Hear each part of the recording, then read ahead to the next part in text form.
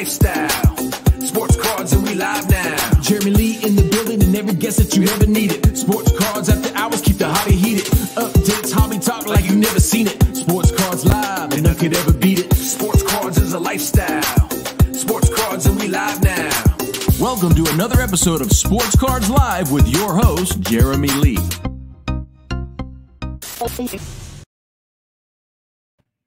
All right, here we go, everybody. Welcome to episode number 105 of Sports Cards Live. It is Saturday night, July the 10th, 2021, and my name is Jeremy Lee. Before we do get to tonight's episode, I do want to thank last week's guest, Tim Getsch, founder and CEO of COMC, for joining the show, as well as the After Hours episode, Ryan Nolan from Breakout Cards.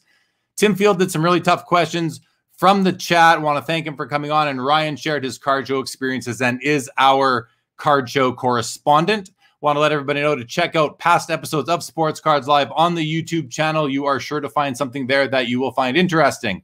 I also want to thank Joe Perot, Yamwax, Billy Celio, and Ben Carlos for joining me earlier today for Hobby Palooza. We had a lot of fun. What a great event that is. Also, want to let you guys know next Saturday the schedule will be a little bit different. As on the early show, Adam Gray, the Real 27 guy, will join me as we watch the PWCC Premier Auction go into extended bidding. We'll provide some commentary and analysis on the 66 lots in that auction. Also, after the show tonight, episode 106 will go on with Frankie Gonzalez. He has a hobby a hobby shop in San Juan, Puerto Rico, and is a passionate Michael Jordan collector. And next week as well, after the PWCC auction, episode 107 with guests Peter Pacman and Slabby Sosa. I do want to let everybody know we've surpassed 3,200 subscribers. Thanks to each and every one of you. You know, I appreciate that. If you're not yet subscribed to the channel, please go ahead and do so. Greatly appreciate that. Shout out all the podcast listeners. I know, I know I do it every episode, but I do really appreciate you guys. And I know they're, you're a strong force. So thank you for all of your uh, listening time. Shout out the big three hockey on Instagram for their support. Be sure to give them a follow on Instagram. And I also want to shout out John from Slab Shelf for sending me that unit right there over my shoulder, displaying some cards. Awesome uh, gesture and a really cool product that he has out there right now. And finally, we are now going to get to tonight's first guest of the evening, whose earliest hobby memory was when he traded for a 1983 Topps Milt Wilcox card, thinking he was a speedy outfielder, but he was actually a lousy pitcher. But and the cost schoolyard gold in the form of a bag of Doritos.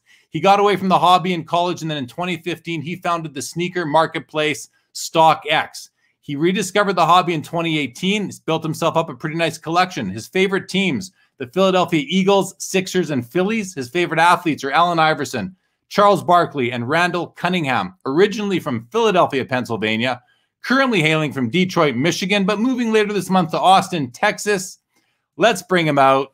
Josh Luber, welcome to Sports Cards Live. How are you doing tonight, my friend? I am unbelievable. Thank you very much for having me. Hey man, it is uh, it is my pleasure. It's great. It is great to have you, and I thank you for uh, for making some time tonight and the other night as well for me. So uh, I got I got a, I got a couple things before I got I know you got a million questions for me. I got three things we gotta gotta get real quick before we start. So one, um, as I'm sure a lot of your guests are doing as well. Um, I have two bids that end in 25 minutes on Goldin's auctions. So uh, I got alarms uh, set. So we'll, we'll all take a, a, quick break to refresh our bids in uh, in 24 minutes. Um, two, I'll apologize ahead of the time. I have no cards with me as I am uh, in transit. All my cards are in uh, are in storage, but I do have this little um, Ohtani uh, um, little figure. That's as close as I have to, to any cards.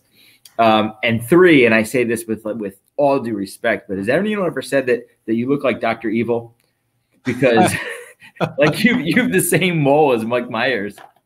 and like and it's the gray shirt and i was like oh man i was like who does he look like and i, I was like it couldn't it couldn't and then the last second i was like it's dr evil so it's it's uh i'm i'm i'm honored to be here with um with uh with with you in uh, well, in that capacity yeah, thanks, man. Thanks for calling me Dr. Evil. Much, much appreciated. Yeah. Sorry, it was like thanks.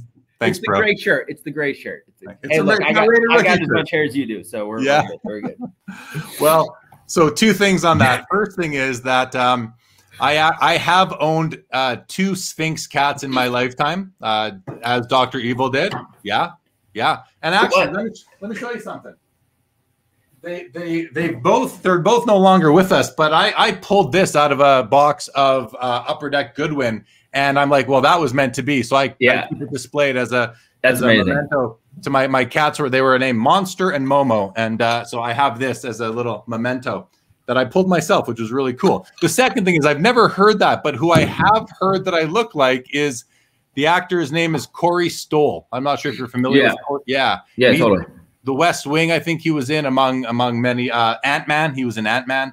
Yeah, well known for and he's um uh he had a big role this last season in Billions, which Oh, was uh, is probably his most notable recent role. As he was he was kind of the you know the the, the foil uh the bad guy foil all last season. So yeah, Yeah, my wife and I we haven't got to that season yet, but uh, I'm looking forward to it. And I mean, you know, he's a good looking guy, but I've got I- I've got one one leg up on him for sure. So, uh, but, Yeah. but I don't know where I rank against uh, Doctor Evil, man. That's the first time. it's I've a great that. shirt. I was like, man, I was like, I, could, I couldn't like the whole your whole intro. I was like, I was blanking, and then right as you clicked on, I was like, yeah. There it was. Hey, there it was. All right. Well, hey, we're we're off. Oh, we're, off to, we're off to a great solid Uh-huh. start here so far. Yeah. well, listen, man. Again, thanks for coming on. You've obviously done some great things in in hobbies, not just uh, so well, not sports cards. Maybe we're going to hear a bit about that. You built yourself a bit of a collection, as I understand. Uh, we share a, a similar passion, one of the threads within it, but you also uh, you're the founder of StockX, the preeminent sneaker marketplace. I want to get into that, but before we do, just I, I alluded to uh, you know trading a bag of Doritos for your first baseball card, but just take us through a, a little bit of your your experience as a youngster in the hobby. Yeah, you know, this is uh, one of my most fun things to talk about because it's the thing that it sort of ties us all together, right? I I say this all the time, and I've said the same thing on the sneaker side of it, which is, you know, I'm 43 years old. I have the exact same stories every other 43 year old, uh, you know, coming back into cards. I collected cards, you know, heavy during the junk wax era. Um, you know, 83 Topps was first card that I ever, you know, bought, um, or first card I ever ever acquired.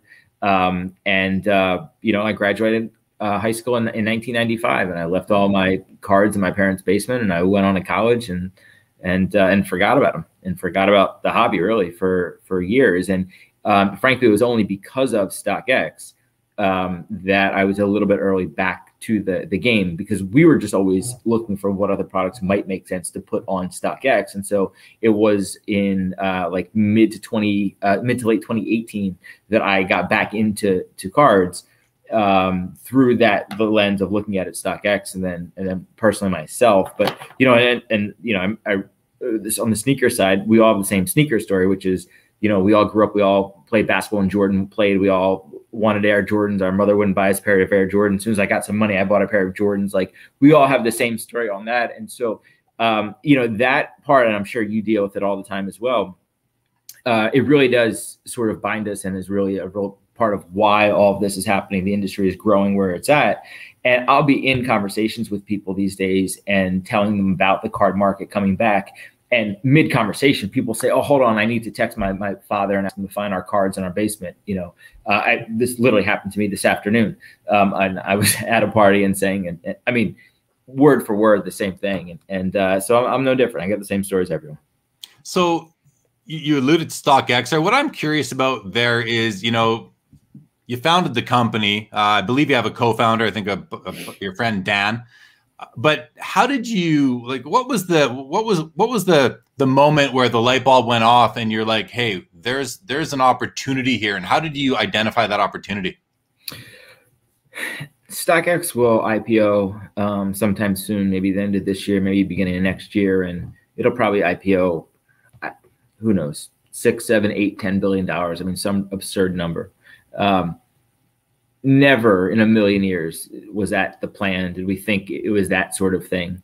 Um, it was very, very much one foot in front of the other. It was very much uh, the natural progression of being interested in sneakers, seeing a very small uh, opportunity for me.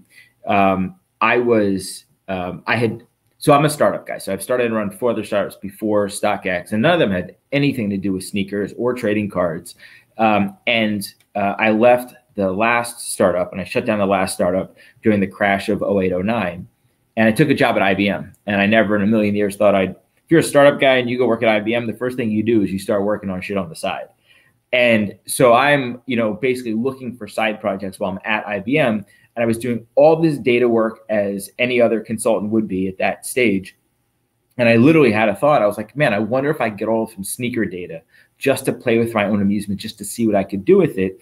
And that became the side project, which became a sneaker price guide that eventually became the jumping off point to create the sneaker stock market, which became StockX, which became, you know, what it is. So it was literally a uh, a side project for myself that, you know, you take one foot in front of the other and somehow this is gonna, you know, I don't know, a $10 billion company that that's come out of it. But it it it truly is the way that the best things start, which is just hey, there's one very specific thing that I'm interested or I want to build and building upon it from there. So. It's a good, yeah, it's a great story, man. I mean, the one, you know, you're, you're an inspiring guy. And I, I mean that because I've heard you say that, and this, this, this is really, I'm going to ask you to talk about this because I think a lot of people need to hear it. But I've heard you say that ideas are worthless, which, you know, a lot of people would say, how can you say ideas are worthless? But you go on to say ideas are worthless. The only thing that matters is execution. So speak yeah. speak about that and like you know why, why, you why you say that, why you believe that. Yeah. Um, well, a couple things. Um, let's just start with with my experience and, and the most obvious one. So StockX, we didn't make any of this up. Like all we did at every stage here is just copy how the stock market works. Um, the idea that you could buy or sell consumer goods the same way that people buy or sell um, stocks and and and equities. Um, first of all, it was not unique. Other people have tried it, and people, including people in the trading card industry ahead of us. Right? Uh, you may be familiar with the pit. Yeah. Um, you know, the pit was. I mean, that is stock X. Like that is exactly stock X. Now, did we do a better job? Was it because it was a different time? Was because it's a different team, different technology, different product that we were using sneakers, other, but like it is the exact same idea, which is take how the stock market works and apply it to consumer goods. We happen to start with sneakers and we moved into other products, including um, including trading cards. But you know, it's even more important than um, you know than than at the highest level in terms of you know building businesses and successful businesses. But um, it's what holds back a lot of entrepreneurs or would-be entrepreneurs in the beginning, which is uh, people are, are, scared to share their ideas. They think that someone's going to steal their ideas. Um, you know, the number of people that um, ask for my advice or help or eyes on something um, as an entrepreneur is um, it's humbling and uh, and it's and it's and it's it's nice and it, and it, feels good. But then someone will say, "Hey, you know, I have this amazing idea. I'd love if you could uh, give me some advice on it," and then ask me to sign an NDA to look at that. Like nobody's going to uh, sign an NDA to look at. And by the way, nobody's going to steal your idea because first of all, I'm sure whatever the idea is, a hundred other people have had it. The question is, how are you going to be able to execute it better than someone else? But here's the other thing, right? Is that if you have this idea and it's such a great idea, and you present it to me and I decide to steal it and run with it. First of all, do I I'm not doing anything else in my life that I'm just going to sit here and take your idea and that's what I'm going to spend my time on. And second of all, that I'm therefore somehow better able to execute your idea. Like all of that just it just doesn't align. And the only way that you refine ideas, that you find business partners, investors, uh, um, employees, all that is by sharing those ideas and talking about them and iterating through them and stuff like that. And that process is my like the, the number one advice I give to any entrepreneur ask me, which is talk to everybody about everything.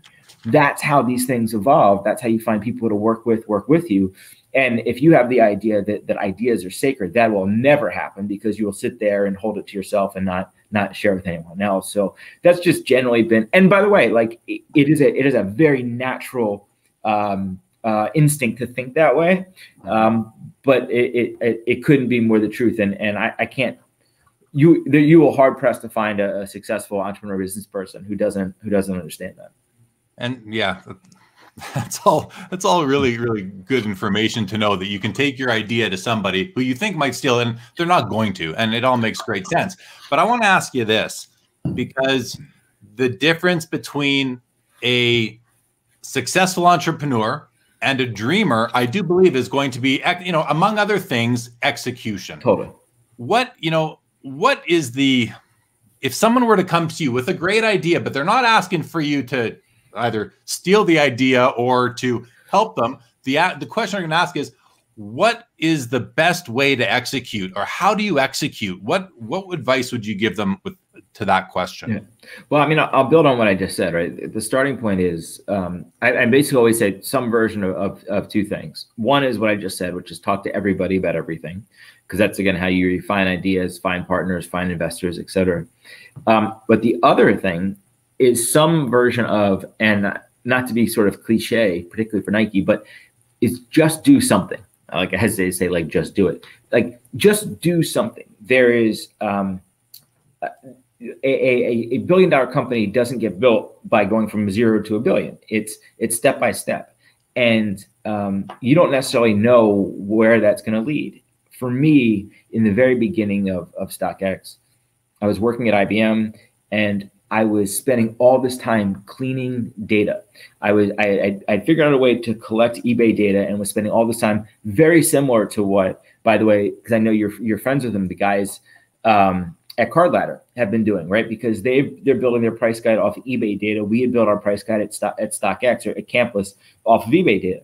And man, I was spending hours and hours and hours and, and literally months, 18 months, probably all I was doing was cleaning Excel. And I had no idea of where this would necessarily lead to. But I knew that I just had to be doing something to push this idea forward, to put myself in the position of who knows what would happen next. Because what's the alternative? The alternative is I don't like watching TV and, and and going out. Like you need to be doing something to move it forward, and it doesn't matter what it is. And you're never going to be like, hey, I'm going to just build this billion dollar company from scratch. Like no, it, it takes a regression of, of many, many, many, many small things. So you know, talk to everybody about everything and, and, and just do something. Just do something that, yeah, that, that makes a lot of sense. Just, just do it. How are you doing for your, uh, your auction bidding? Uh, well, we got, we have, uh, uh, 12 minutes left here, right? Okay. Or actually, it looks like, no, it looks like the, the, there's, there's one card that I really want. I'll tell you if I, if I hit it, it looks like it's already been hit once. So. All right, I'm going to. Uh, well, you take a second. I'm gonna. Okay. We're gonna go through some comments. Say hello to some of the chat here. Yeah. We got troublemaker cards. Great to have you. Rocco Rosado, always great to see you, Rocco. He says it's been a hobby palooza of a day as usual. Jeremy and Sports Cards Live lead the way. Thank you, Rocco. We'll now be taking some stock in StockX. Should be another. Thank you very much, Rocco. Always great to have you. Good evening, Mike Wick. Troy, great to see you again. Hello to Josh. Looking forward to looking forward to it uh, ourselves. Mike Wick says I need more friends in the hobby for sure. Hey, you got two right here. Jeff Mc. Well, I'll speak for myself. I won't speak for Josh. Jeff McMahon, great to see you. Todd McDonald says, Good evening, Jaron Josh. Great show this afternoon. You make it look easy, such a pro. Thank you so much, Todd. That's really, really nice. Joe, good evening to you, and thanks for joining me on the panel earlier today. We got Charles from Card Canucks in the house. Good evening, Charles. Colin says, Evening, Jeremy. Thanks for the video today with the panel. Looking forward to tonight's show with Josh. Thank you, Colin. Mike Wick says, Go Phillies. That's for you. Josh, Good evening, Michael Ham. Great to see you. I've seen you all day, Michael, in the chats. I was uh, I was consuming a lot of it myself throughout the day. No, Eric, that is not going to last. You guys will not be referring to me as Dr. Evil. That that that stops right now. I'm gonna. I got this guy to blame if that sticks. You. amazing. Yeah. Here we go, Troy. Here we go. That that that's that's what everybody wants. Max Norris, good evening to you. Mike Wick says, "Where did you get the Raider rookie shirt? I have to get one. This came from Panini, when I had a couple guys from Panini on the show last year, they sent me a shirt, which was very very nice." Uh, Zed says, "Are cards still popular?" Yeah, just come to the expo and find out. Yeah, Joe says, "Who remembers the pit?" I do remember the pit. I remember when it first came out. I thought this. Is, it was around the time of the first E tops back in like 2000, maybe even the late 90s, actually. Definitely. Angie, great to see you again. How about the Habs? Yeah, the Habs were, were good, but they weren't good enough. But Tampa was a great team for sure. Rich Frank says the pit is still flipping cards. Zed wants to know will StockX get into NFTs? You want to you want to speak to that, Josh?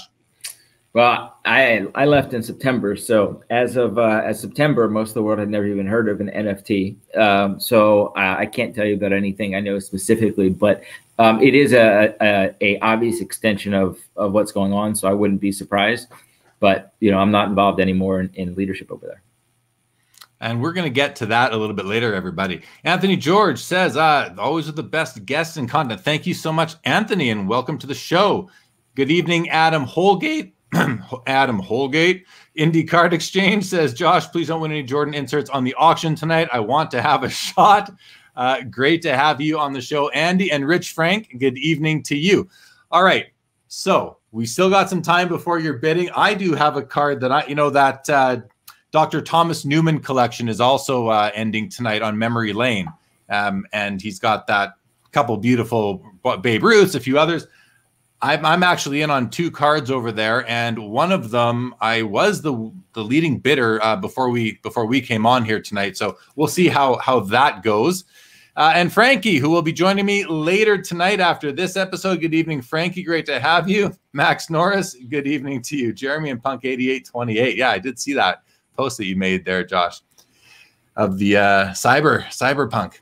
Okay, let's let's keep on going. So I really want to, you know, I wanted to pick your brain a bit on how how you see the hobby based on your experience as conceptualizing and founding StockX. As you know, I think it gives you a unique perspective from what you've done applying it to the hobby right now. Can you sort of speak to to that that the special lens you have and how you might see it differently than the general public? You mean because of StockX? Yeah, and your experience, not just with founding yeah. it, but your experience there and what insights you may have that others may not.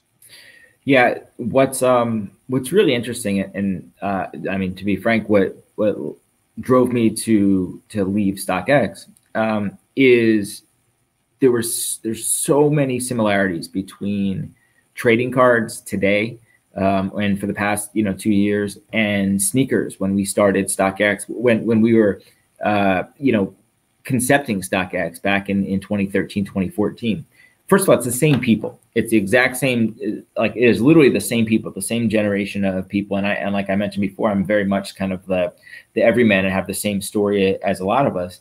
It's the same supply and demand construct. Um, you have uh, the same uh, scenario where um, prices in the market itself is being driven by more and more people coming back into the market. You know, back in 2013, 2014, I'd get hit up five times a week from people saying, Hey, man, can you help me find those Jordans we used to wear in high school? And today it's, Hey, can you help me find Jordan rookies and, and everything else? And then you have literally Michael Jordan at the center of both industries. So, you know, you have this, this very similar um, scenario, and it, it's, um, you also have this the same uh, sort of evolution of these products, sneakers and trading cards, becoming true investable assets. Now, trading cards have actually taken it a step further because sneakers, at the end of the day, are not good long-term investments. They're still just rubber and leather and glue. But trading cards, because of grading, because of standardization, actually are. And so all of those things sort of combined for me to leave StockX to go into the trading card industry because of the similarities, because of the the stage of it, because of all of those things. Um, and so I don't think I'm unique necessarily in that that view, um, but it is very very clear those similarities, and that's an interesting place to to be starting at. Yeah, no, no, no doubt at all. I mean, it's uh, you know, I like how you just put it that it's it's the same it's the same people. It's this, you know, Michael Jordan is at the center of the of of both of them. For yeah. I think a lot of people do agree that as the Michael, you know, the Michael Jordan rookie is a great sort of gauge of the of the overall hobby. It's a good beacon just to have an understanding of where things are at. Um, so, you know, you mentioned uh, the similarity. You've used the term culture collision uh, in in speaking with me. Even can you can you kind of uh, expand on what you mean by that? Yeah, I mean that's another um, sort of good um, sort of example of the similarities. And and um, you know, I, I give a, a nod to um, uh, to this guy in the hobby who goes by uh, Prism God, who runs a um, uh, a show that's coming up. Actually, I think it might be this coming weekend or a week from today um, in Atlanta that he's been calling uh, Culture Collision and. The, the higher level idea of the convergence of all of these things is also driving the similarities between these industries. Um, you know, all of the uh, sneakers, um, trading cards, all these collectibles, um, they used to be these very siloed, individual, um, kind of, um, you know, nerdy, uncool things. And, you know, the sneaker kids were over there and the skate kids were over there and the basketball kids there and, and trading cards. And you just have this, this convergence of all of it, which was the kind of the future of the internet that promised. But in you have streetwear and high fashion and, and sneakers and you have you know trading cards and high finance and um, you know and, and trading cards are cool again and the people that create culture you know you see steve aoki for example who's one of the biggest djs in the world is is is talking about cards and, and doing breaks and, and logan paul and and all this. So like that convergence of all of culture um, into trading cards or, or, whichever way you want to look at it is a huge driver of this. And, and what tells me more than anything that this is still very very early on right? By comparison or, or by by analogy stockx today is i don't know four five six times bigger than what we thought the entire resale market was when we started stockx back in 2015 and the reason why is because sneakers sit at the intersection of culture and commerce and that's where trading cards are right now. You sit at the intersection of culture and commerce, and you just don't know how big that can possibly be when those things take hold. Like what happens the first time that that Kanye, you know, tweets about that he's been buying cards? What happens the first time that Kim Kardashian puts on her Instagram stories, you know, her 2009 upper deck card and says, "Oh, look how cool, like my rookie card." Like the like we have so much like more to go in terms of people and how important this becomes and we're past the point of no return, at, at least in my view. And so that's you know that that's kind of how I see it's coming, and I think a lot of other people feel the same way. But sorry to go on the rant. I was at I was at a show in, in Dallas, uh, whatever it was, two three months ago, and there were tables there selling Air Jordans. There were tables selling sneakers, no cards. There were two or three tables there that were just selling sneakers. I mean, it's like that convergence is we're already there. It's just a question of, of how much further it goes it's kind of a perfect storm the way they just sort totally. of nestle, nestle, right in there and into society and culture. Um, I, I, do want to, you know, you, you, mentioned how much you think there's there's ways to go. We're going to come back. I just want to do a couple of quick comments here. We have Brian Gray from Leaf says, "Hey guys, I'm bidding too. Love seeing creative business guys in the industry like yourself. Josh, welcome to the show. Uh, Brian, great to have you. Rich, Frank, good evening. We got Chris uh, from from Card Ladder right there saying hello to, to us. Good evening, Chris. Always great to see you. Joe Perot says if Josh is an everyman, he's a very smart one. Well, he's either very smart or he just did it. You know, as he said earlier, you got to do it. That's the, the ideas are nothing without execution. So I think that's that's the big takeaway here. I really, really think. Jordan Hudson says pop count. Chris is in the house. Chris is in the house. So as far as you were saying, you know, you're you're you've identified for yourself or you've you've you've sensed that there's a ways to go as you know we talk we collectively have talked about the hobby in terms of innings what inning are we in people have all sorts mm-hmm. of different opinions but you've broken it down and i've heard you break it down speaking to chris i heard you break it down on his and josh's crossover show where you meant you broke it down between there's really three different ball games going on at a time here. You've got the people, you've got the prices, and you have the company infrastructure. So I think the co- company infrastructure is the most interesting one. And I want to I want to spend some time on that with you. But can we just touch on why you think that? And, and I want to know if you and that when you were on with Josh and Chris, that was a couple months ago now. Um, at the time, you said that people, as far as people go, we're in the fourth, and as far as prices go, we're in the seventh. Now I don't know if baseball games go backwards, but are we? We may not be there, So, but let's start with people. Do you still think that we're in the fourth? I do. Um, I do. I, I think that um, you know a lot of people have looked at um, what's been going on in with NFTs and, and Top Shot and crypto and a lot of things to point to uh, potential reasons of why uh, we've seen prices drop in the past couple months. Um, I actually don't believe that to be the case, but I do believe that that uh, all of that um, uh, slow down the rate of growth of people coming into the hobby.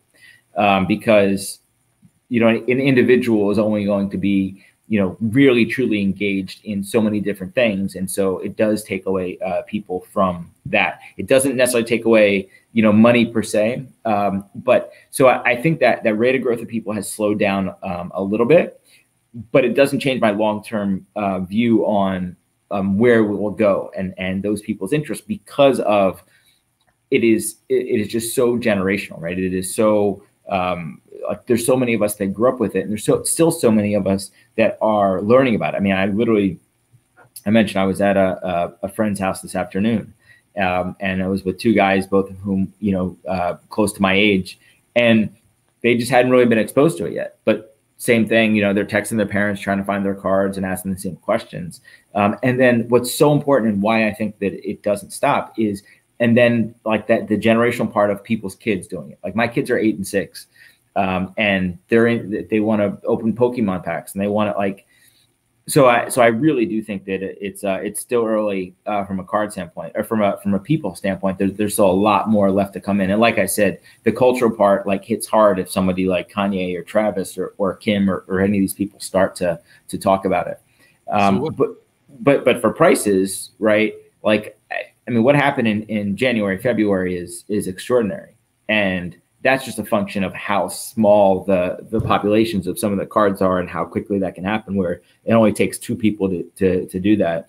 Um, and so you know i thought that it would be another year or so before we reach prices anywhere near what some of that you know jordan's up at, at $700000 um, and so did it go backwards? I don't know. I mean certainly some cards have, have prices have gone backwards since um, since february uh, but whatever it is we're obviously way past.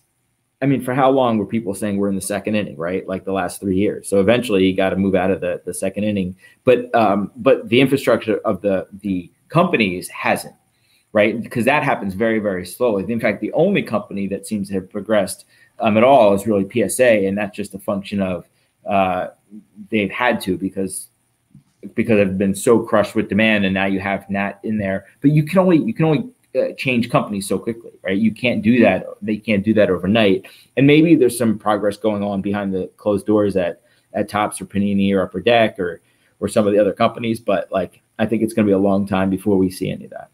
Well, so let, let's dive into the company infrastructure then, uh, sort of by, by by by segment, I guess. Uh, we'll start with the grading companies because that's where you started. So, you know, we've got the incumbents, the PSA, BGS, SGC. We've got several new ones, including some real threats, I would say, like a CSG. Uh, and then you've got all the other new ones. And it, it literally does feel you think, like you think that CSG is a threat for for cards. I think they're the. I think CSG has the best shot at market share uh, comp, uh, out of the pool of new grading companies coming in. Yeah, yeah. And that's just because of their their scale and their history with with comic books, or is there a different reason? Well, that's one. The other reason is that they they're they're two uh, founding graders came over from Beckett and were two of the top graders from Beckett Grading Services. So they have the they have the experience uh, in terms of grading card. To me, the the most um, there, there's two really important things with in grading that uh, that is overlooked by the general hobby. I feel one of them is just and almost the most important for for certain cards, especially, is authentication and and and identification as well. And I I had a tour of the PSA office back in 2009. So I'm sure it's grown since then, but I got to see their uh, their reference material room, their their their their library of information, and it was like several shelves, bookshelves, like you know, tall ones, filled with reference materials, and that really impressed me. And to this day, it impresses me because I don't know, you know, if you're just starting a grading company, a lot of that stuff's out of print now. How are you going to how are you going to gather the information you need to grade? you know, just to pull out something we'll talk about later, but this 1965 Dutch set John Lennon card, right? Yeah. If you're starting up a set, uh, uh, sorry, if you're starting up a grading company now, how are you going to identify all these cards um, and authenticate them? So, yeah. So when you when CSG brought over uh, the two guys from Beckett, I think that that established some credibility uh, with with me at least. Um, so now you know you have to decide for yourself if you like their slab, if you like their label, and this and that. But and their their turnaround times and their prices. Have you said like did it was it enough for you to send cards to them? I haven't sent out any cards since last year.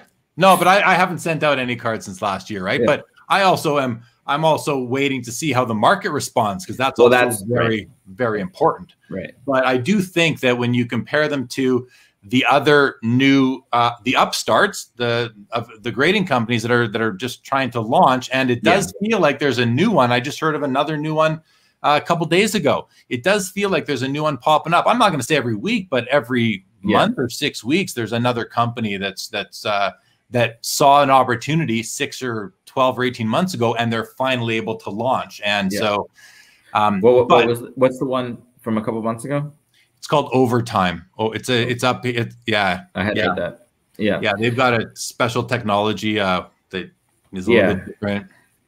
Yeah, I mean, like I- you like the qualifier that you have there. That of of all the new ones, are they the one? I mean, maybe only because of the the capital and the experience and and. um But I I just I don't I I don't believe that that any grading company is going to be able to have take meaningful share uh, from PSA other than if BGS or SGC got their shit together or, or you know, and, and, and was able to scale. I just think that I think the brand is too valuable, um, and and you know the value that like, and and just the, the delta even with SGC and, and Beckett, the delta of how much more valuable cards are in a PSA slab, right? I mean, I, I don't care, you know, who's grading uh, what. Like, I don't want my cards in in in a slab of of anyone besides those three, and even those three, right? It's you know, I'd still much rather have them PSA just because the of the value and I want and I want the like it's little things. I want all the cards to stack together. I want I want them all to stack neatly together. And if I have a card from from uh, what's it called HGA or whatever, like then I have to have a whole stack of cards. This like so Yeah. I, I don't know. But and and, this is why I, I think that um you know the infrastructure of the industry is is uh, will drive a lot of this because I don't think we're going to see it um, in grading because even if you have these companies that are well capitalized and, and was it Blackstone that just bought C, um, I, I, I always get it it's C CCG Yeah, that owns Yeah. CSG. Yeah. right right um, right? Uh, I, I just don't think it matters right? I, I don't think the, the brand matters. I do think it'd be interesting and and this is completely I have no knowledge whatsoever but like but what if Topps created a grading company? Do you think like the brand of of Topps could could pierce the the the, the slab value that that PSA and BGS have Well, I mean, would, would it would come down to would they would this be an independently run company that would also slab Panini and Upper Deck cards, or would they only slab if they're only gonna if they're only gonna tap slab Topps cards? Then no, because like you said, people like uniformity. Yeah. Um, it it to me, if if people are gonna listen to what I'm saying, it's gonna come down to who are the graders. That's really important to me, and what is the you know, Topps I would feel confident could identify and authenticate any Topps card that's ever been printed because they might have they might have references uh, you know in their archives exemplars But, but But- all of that, all, all of that are, are known. They're known quantities, right? Like, yes, you have to actually do it. You have to hire the right people. You have to build the right capability. You have to build the right infrastructure to do that. But it, it's a, it's a black and white thing. Like, can you, you know, can can you build the expertise to grade? And the answer is anybody that has any any person, any company that has the, enough resources, money, and time uh, can do that.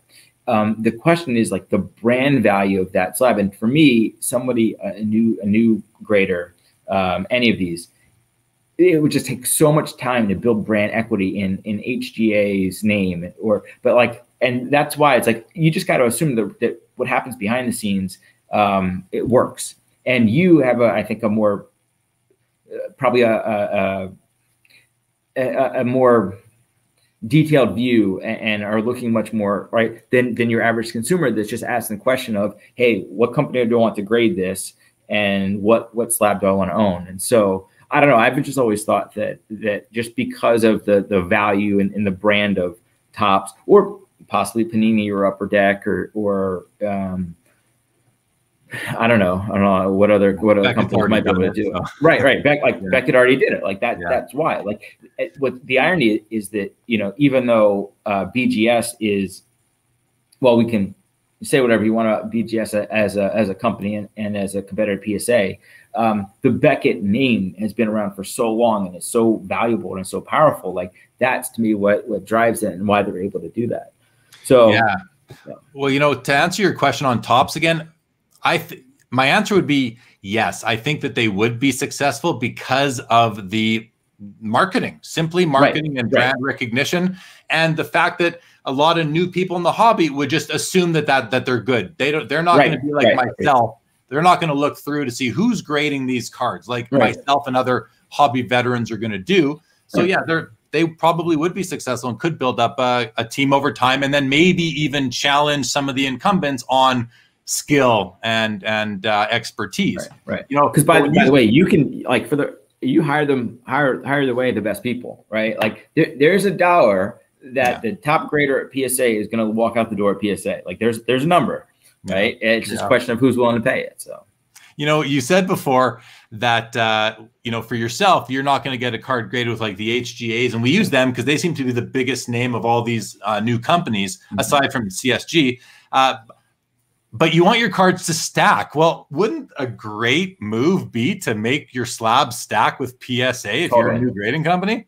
Totally. That like that that's exactly what I would do. I, I would make I would make my slab as close as possible to PSA from a look and feel and, and stackability. That's would be like literally the number one thing that I would I would care about just because I, I think that you don't want to mess with like how people store their their cards.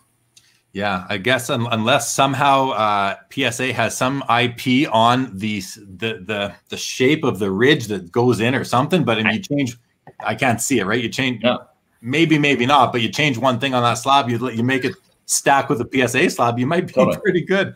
A lot of people would would uh, would be happy about that. So, so I mean, you know, I kind of wanted to talk like as far as the grading companies goes. We I think we've hammered it pretty good here, but just to make sure we we put a bow on it, any mm-hmm. sort of like strengths or weaknesses of the current state of them that you that you can see aside from a brand like Topps coming out with their own grading company, like, do you? Let me let me just let me back up.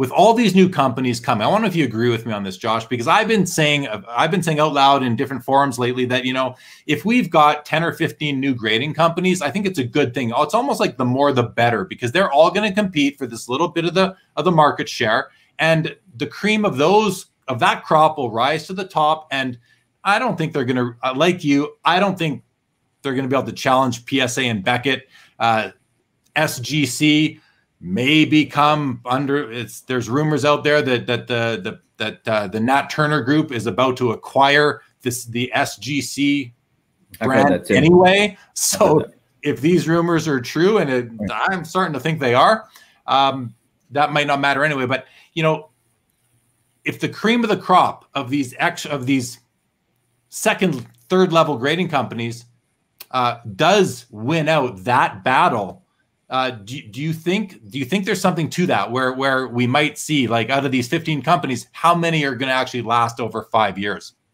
Well, the the interesting variable there, um, and and sort of what's what's built into the premise of that question when you say last five years, is um, is what are those company what are their goals of those companies? Because there's no question that um, any grading company that knows what they're doing, that is well funded right now, could build a profitable business. You don't have to actually take meaningful share from PSA to build a profitable business because there's so much there's so much market out there, right? Even with PSA, even if they weren't shut down right now, right? They still can only grade so much so quickly.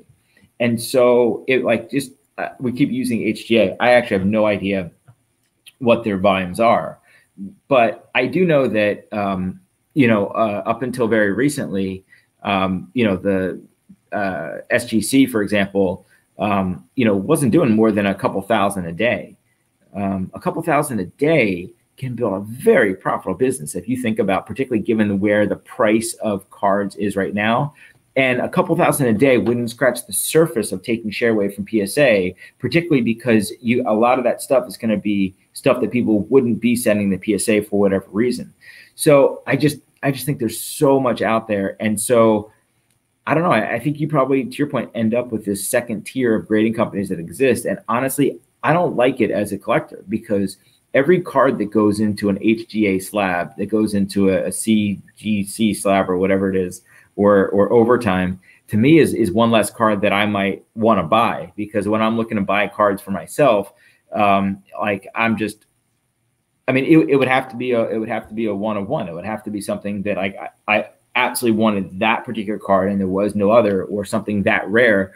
Otherwise, I'm going to go and try to find it in a BGS or an SGC or a PSA slab, and and it, it's probably out there. So I don't like it as a collector, but I do think that there's a there are profitable businesses to be made. By the way, there like someone told me once, and I don't know if this is the right number, that there were 130 different grading companies that have existed over um, whatever it is the past 20 years. Somebody, you know, and and whether that's the exact number or it's something close, like I believe it. You've seen a lot of these other ones, right? Like GMA and uh, I mean, A, yeah, yeah, like they're all are out there, and you know, and some of those still exist, right? And so I, I, think that you might get one of those guys that that comes back and, and creates some some value there. So I don't know. There there was a slab that I saw called ISA. I don't know if you're familiar with, with that, but the ISA slab uh, I thought was a pretty good looking slab. It's kind of like a combination of PSA and SGC. It's got a black insert and it's kind of the size of, of PSA. So like I just think you're going to end up with with a bunch in there, and these guys can make a profitable business without having to to really compete with PSA. Yeah, I, I, I, can I can definitely I can see that. I can see there being room, especially at some of the regional ones too. You know, the I, I can see I right. can see, I can see that that being a, a bit of an advantage. Or, or, by the way, can you see? I could see like um uh, local ones coming up in, in other countries. Like I could see one just coming up in China to dominate China, or in Japan to dominate Japan. Like that actually seems like a pretty that that's actually a really good idea. Actually, just thinking about it right now, kind of like real time. If you were going to go after a market go after a market outside the US that has a big like like Japan where you have a lot of grading, right? Or excuse me, a lot of gaming. Yeah, you know, even like I'm in Canada as as I've, as you know, and you know, Canada is like the size of California population wise. We're about a tenth the size of the United States, and we've got uh, no less than three grading companies here, and I think they're all, especially with cross-border business, they're all trying to to grab a piece of of the pie. But there, you know, we also have PSA Canada, which is a a, a dealership for PSA, and they they do a good business too. So it's uh there's battles going on. there are certainly battles going on. I want to go to a couple comments here, Josh. Uh, pick four guy says the grading industry needs to get their act together. Newbies might leave the hobby due to frustration of time it's taking to get cards back. I hear that pick four, but I think it's a it's a it's a temporary thing. But I agree with you. There is a time there is a time limit on before people some people do get frustrated. Uh, good evening, Smallville. Great to have you. Yam says it seems that CSG has had some growing pains and backlog similar to what SGC faced last year, and that might be because people like and trust them, which I could definitely see. Uh, Sanderson says we saw the grading company explosion in the 90s and they all failed. Well, Beckett's still there, PSA is still there, uh, SGC is still there. They've all been around since the 90s, but the other ones, yeah, they several, several of them did go away, as, as Josh was just uh, was just letting us know about. And uh, oh, and this is the one I like here from Troy because it. Well, I like it because I agree. He says too many grading companies. Three years from now, they will be a memory, and I agree. The cream will rise to the top. However, regionals might outlast. You know, different countries, as Josh was saying, I think makes a lot of sense. Um, now, uh, before I bring up the next comment, Josh, which is from my buddy Slipka, who will be, uh, who him and I will be going for White Castle in Chicago at the end of the month. Um, actually, I'm just going to bring it up. He says, I don't agree with Josh. The value of a card appearance has never meant more. And what HGA is doing is very appealing to new collectors. Multiple new companies will survive, some won't. So the first part of that about, you know, what HGA is doing with their customized label is very appealing and the key word here to me is to new collectors because I'm right. I'm an old collector and it it doesn't appeal to me. I have, I, you know, I wish HGA well, and me I think, neither. Yeah, yeah. Okay, so it's it, it's really it's not that he disagrees with you. You just have different different tastes. Right. Well, but but his point on new collectors is right, and whether it's it's the appealing of the the label and what it looks like, but it's just that hey, look, I just want to have these cards slabbed and uh, I'm a new collector, um, and so I don't I don't necessarily have the tie to to PSA or BGS because I don't already have stacks of those cards. And so, uh, you know, maybe you know it, whether it's the time, whether it's just the the convenience, whether whether it's the the experience on the website of just how easy it is to go and and like, you know, I mean, probably more so than anything. That's why StockX has become what it is, just because it, it's very easy to buy and sell, um, you know, on the site. So look, that that may be true. I, I just don't think you're going to move the the core of the hobby that way. You know, and I want I want to I want to make a point to to Slipka's comment there uh, that Chris McGill said last night on on crossover, and I think this is uh, a really astute point. It's one of these things where I was thinking it, but I didn't know how to articulate it. And as he often does, he did it so well when he said that he basically said, I think that the focus of the of the focus should be on the card, not the holder. And I'm a guy that loves cards. I do like my card to present well, and a holder can definitely uh, complement that. But do you want to take the eyes away from the card up to the label where you're going to appreciate the nice art, art and colors? Or do you want to just get your information on the label? And as Nat said on, on, the, on my show uh, last month, he said it's a it's a very professional looking label. It just gives you the information and then you're back on the card. So, mm-hmm. you know, I I think this is one of these things where I agree with with both sentiments. I for me, it's as Chris and you are saying, let's look at the card. As Slipka is pointing out, which is a marketplace uh, observation or in, intuition is that yeah, some people are gonna like, some, and some people do love it. They love the color match and all that. So it's just a, a matter yeah. of preference, I think, at that point. Yeah, we'll do. Yeah, go jump in. No, no, I, I agree with you. I, I, agree with you. There's the, the one thing I will say about PSA is I, I never understood why the grade isn't made more prominent. Like, why do I have to find the like the end of the third row to find the the, the grade, right? Like that's the one thing that you care the most about because presumably you know what what card that is. Um, the one thing that's actually unique about about a, a, slab is the grade, and the rest of the PSA label made sense, and it's professional, and, and people have just you know over time you you grow to you know the familiarity of it. But I always did find it weird that the the grade is just happens to be at the end of the third row, and it's not you know not more prominent. Yeah, yeah. Another comment from Slipka here, just saying that you know Topps couldn't grade because of the perceived bias for their own cards against others, which I you know perceive. And the key word there is perceived, just like with the with the the collector's holdings acquisition of Goldin that already owns PSA. It's a perceived conflict of interest, but one that I'm not just I'm not uncomfortable with personally at all. But he says you can't grade your own I'm not either. your competitors. I'm not either because I don't think there's necessarily um look maybe it's it's me maybe other people think differently. I don't think there's uh, there's any more value to Topps to have more nines uh, than than uh eights versus a, a panini right? Um, particularly if you are grading everything i think you'd have to grade everything and go down that path. It just um i, I just think it, it would it, it would make things a lot easier if um there, like there, well, I don't want to go into all the the details of. It. I just think there's a lot of nuance to it that would make the efficiencies of those better. But more so than anything, it's just as a brand, I would just feel I would feel good about having a, a, top slab or or even a panini slab, which obviously doesn't have nearly the history of Topps, right? Which is you know difference of um, of 70 years, but I could see if it were to become somewhat of a standard where all the card companies had their own grading department that the hobby grew to trust, you know, perhaps. But that that's that's a it's an interesting thought experiment. We'll we'll leave it at that for now. But what, uh, if, what, what if they what if they combined and said, hey, we're gonna you know we do uh, we we do our own uh, cards, but we have a joint venture that's a top upper deck joint venture and we have our own grading company that does that. And I don't know, you'd have to have probably a different name. Yeah. Um, right. Again, to me, it's just, I'm just like looking for, I'm making stuff up here, but like, how do you create value in a brand name that could compete with PSA on grading? And, and I just don't know if there, there's just not a company in the hobby other than Topps that has that cachet. Yeah, and I just want to make a comment because what you're doing is you're brainstorming right now. You're not mm-hmm. saying this will work or this is the solution. Totally, you're brainstorming totally. and brainstorming leads to ideas, but they, they take time to evolve. So I, I appreciate you yeah. even throwing it out there because as you're seeing, some of it is, you know, I don't controversial is too strong a word because we are just talking, but some of it, yeah. you know, you're gonna you're gonna have a, a, a differing opinion.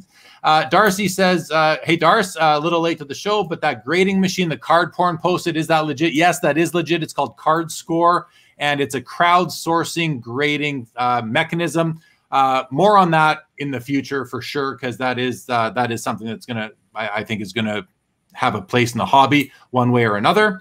So uh, wait, so so what is this? This is a because I, a, I it's Cardporn is Cardporn is the only uh, uh, site that I only only account that I block in the whole hobby. Um, okay, well, it's yeah. and card porn just shared it on their on their uh, on their account on Instagram today or yesterday, but basically I've heard of it elsewhere. It's a company is called Card Score. They have these kiosks with a scanner on it and whatever other mechanism. And you take your card and you scan it into this kiosk, and Card Score sends those images out, whether raw or graded. Card Score sends those images out to its hundreds of independent graders in the hobby and has them assess the condition of that card based on those images. And they then take that data and they give you the crowdsourced score of your card. Again, graded or ungraded. So I've got lots of thoughts on this, um, and I'd be happy to share them. But I, it's a little bit off topic. I, I don't know. I mean, yeah, we can come back to it. I, I want to say this is the first I've heard about it, but um, I like it. I, I don't I don't know if that if it replaces PSA or competes with it or anything like that. But like my initial reaction is is I like the idea, but I like the idea of crowdsourcing um, something that is because again, like, like grading is a known quantity, right? I can it's it's hard and and it's and it's very specific and it's and it's very uh, nuanced in some cases, but it, it's it's a known thing. Like it, it is a it is is this is this corner perfect? Is it not? Like what are the like the de- you know, so um crowdsourcing is is interesting, right? Okay, you know, so I will share I will share my my my initial thoughts. So the caveat to what I'm about to say is that they figure out and they plug all the holes for wrongdoing, i.e., you they spit out a grade of seven and you put it on a card that wasn't the seven. As long as they have that covered off by some sort of um, identification or fingerprinting technology on the card that was scanned in, as long as they are they have that figured out, which I think they must have something, but I don't know, then I like the idea and I would buy I would buy into it. I would buy a card that was say graded a PSA 6 but got a card score of I don't know 6.8, 6.97 or, or higher and maybe even pay a premium for it.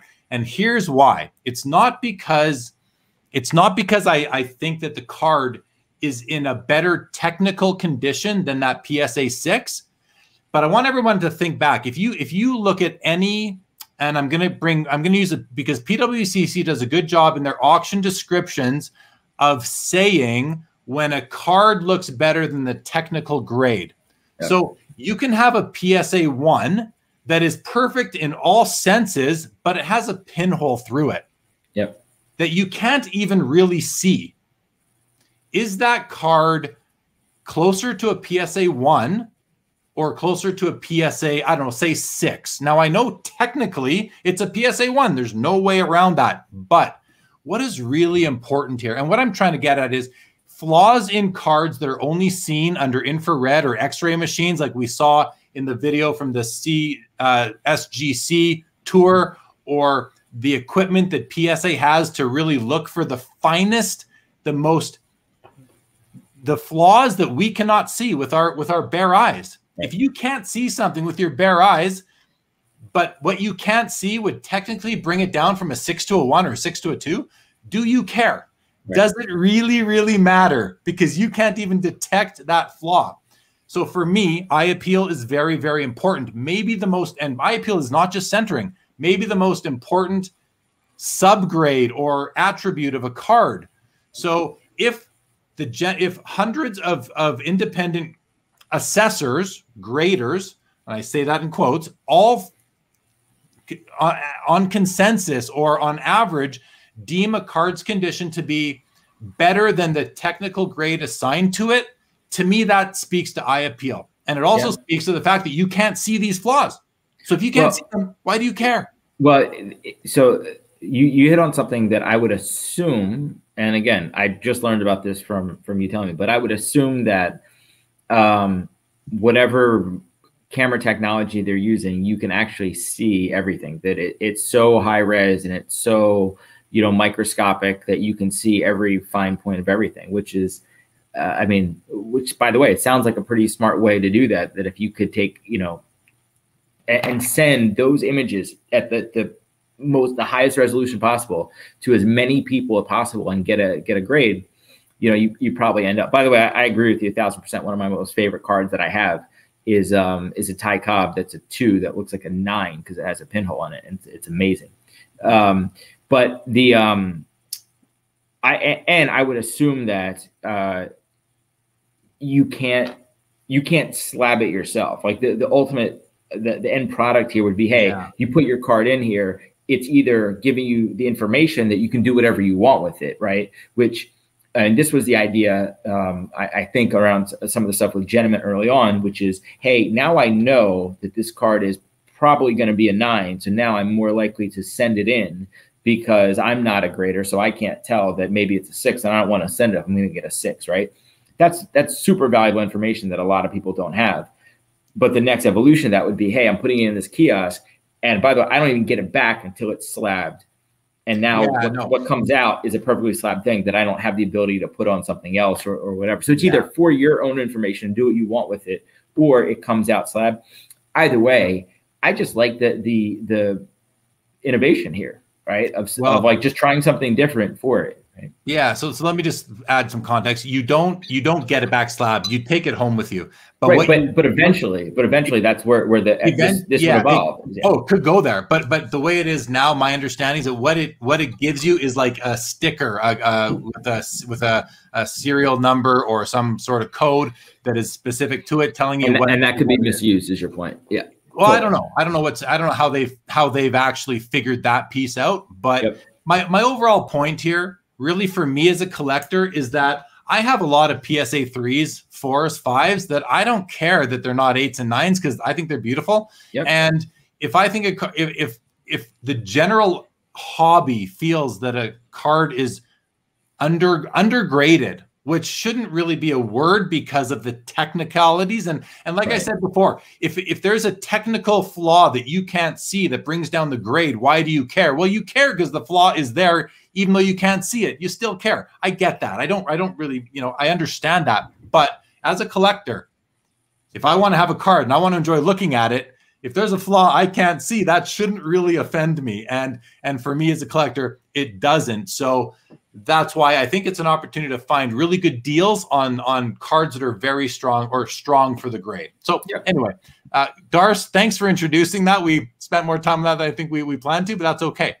And I haven't seen the comments that have come from come from this, so we'll we'll see how what everybody else thinks about this. So uh, let's just go through a few more comments, uh, Josh, and we'll, we'll see where that takes us. All right. Yeah. I think you do. I think you do a great job of of inter, uh, weaving comments into your, to your show. Thanks a lot, man. Did you win any of your cards? No, it's still going, which is not a good thing, oh, right? Which means that the price is going up a lot. So there's one I'm, I'm highly focused on. We'll see uh, how long I go. So.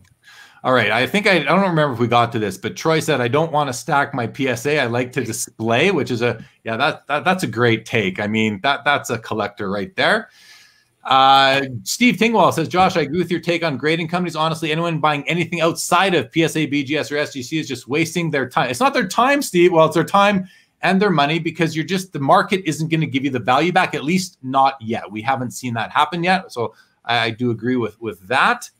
Uh, Rich Frank says if we hit a strike again, it will cripple the hobby. I think he's talking about baseball, and I think there's something to be uh, there's some merit. Oh wow, lots of comments coming up, lots of comments, but lots of merit to that comment, Rich.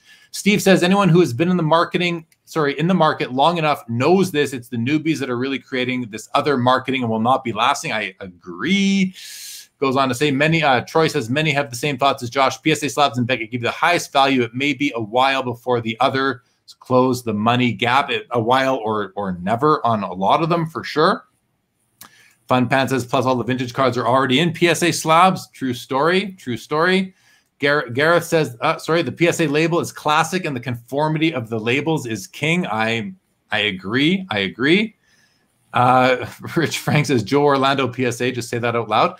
I'm not really sure why, unless that's a, a something about Joe. Jordan Riker says, I've been loyal to PSA since entering the hobby, but HGA's visual appeal when done right is hard to deny. I mean, not not for me. It's not what I'm looking for. I want the focus on my card. I want that simple label. Um, that's just me, though. Uh, but I, yeah. it's not just me; it's me and many others. But Jordan is not alone, you know. Yeah. But it is easy. It's not hard for me to deny, and I don't think it's hard for everybody. But I hear what you're saying, Jordan. And we're all entitled to what we like. Spend your money where you want. That, that, that's all good. Sam Genova, my man. Good evening and welcome to the show. Josh says hi, Sam. Uh, okay, I'm gonna just do a quick scan here. Pick. Oh, I like this. Pick four. Oh, Brian Gray says uh, leaf grading. Hmm. Hey, BG. Maybe I'll head that head that one up for hey. you. Pick four says wanting to know my card is authentic is number one. I'm with you. I feel PSA CSG gives me that assurance based on the coin grading divisions. I think Beckett, you can trust them on yeah. you know, and again, no, none of these companies are going to get it 100% of the time. You know, fakers are like uh, fraud, fraudsters can be very good. Counterfeiters can be very good for sure. Mike says I would trust Topps for sure and Leaf too. PG says thank you very much. What's this here? I'm buying stock in the JLGC slab company, Jeremy Lee Grading. Thanks, Troy. Much appreciated. Hey, I got some for you. I got it's already for sale. The shares are already for sale, buddy. They're already for sale. Smallville says if PSA made changes to their slabs that had I appeal like HGA, how would you feel about it? How would you still use PSA to grade? It's a really good question, actually. Um, really good question. I don't think they would just switch it. They'd probably give you the option, uh, but um, I'd have to think about that one for sure. Okay, Josh, we talked about grading companies as far as company infrastructure. You know, you said that as far as company infrastructure, we're in the second inning, meaning you see lots of innovation, entrepreneurial ventures to come. We talked about the grading companies. Where do you want to go next? Because we still have card companies and marketplaces. You you pick where we go. Uh, well, we can do. Let's do card companies quickly. That's the the I think the the quicker topic. So I mean, this gets into the the counter of Topps being such a, an important brand name uh, because they've been around since 1952, but it's the same business from 1952. And and I know you know um, uh, uh, Brian's on uh, here as well. All the trading card companies today still run like CPG companies, right? They design cards, somebody else prints them, somebody else sells them uh, most of the products get sold to distributors, it gets sold to retailers, it gets sold to people, that get sold on uh, eBay, they, or it gets sold on marketplaces. Um, you know, none of these are direct to consumer e-commerce companies.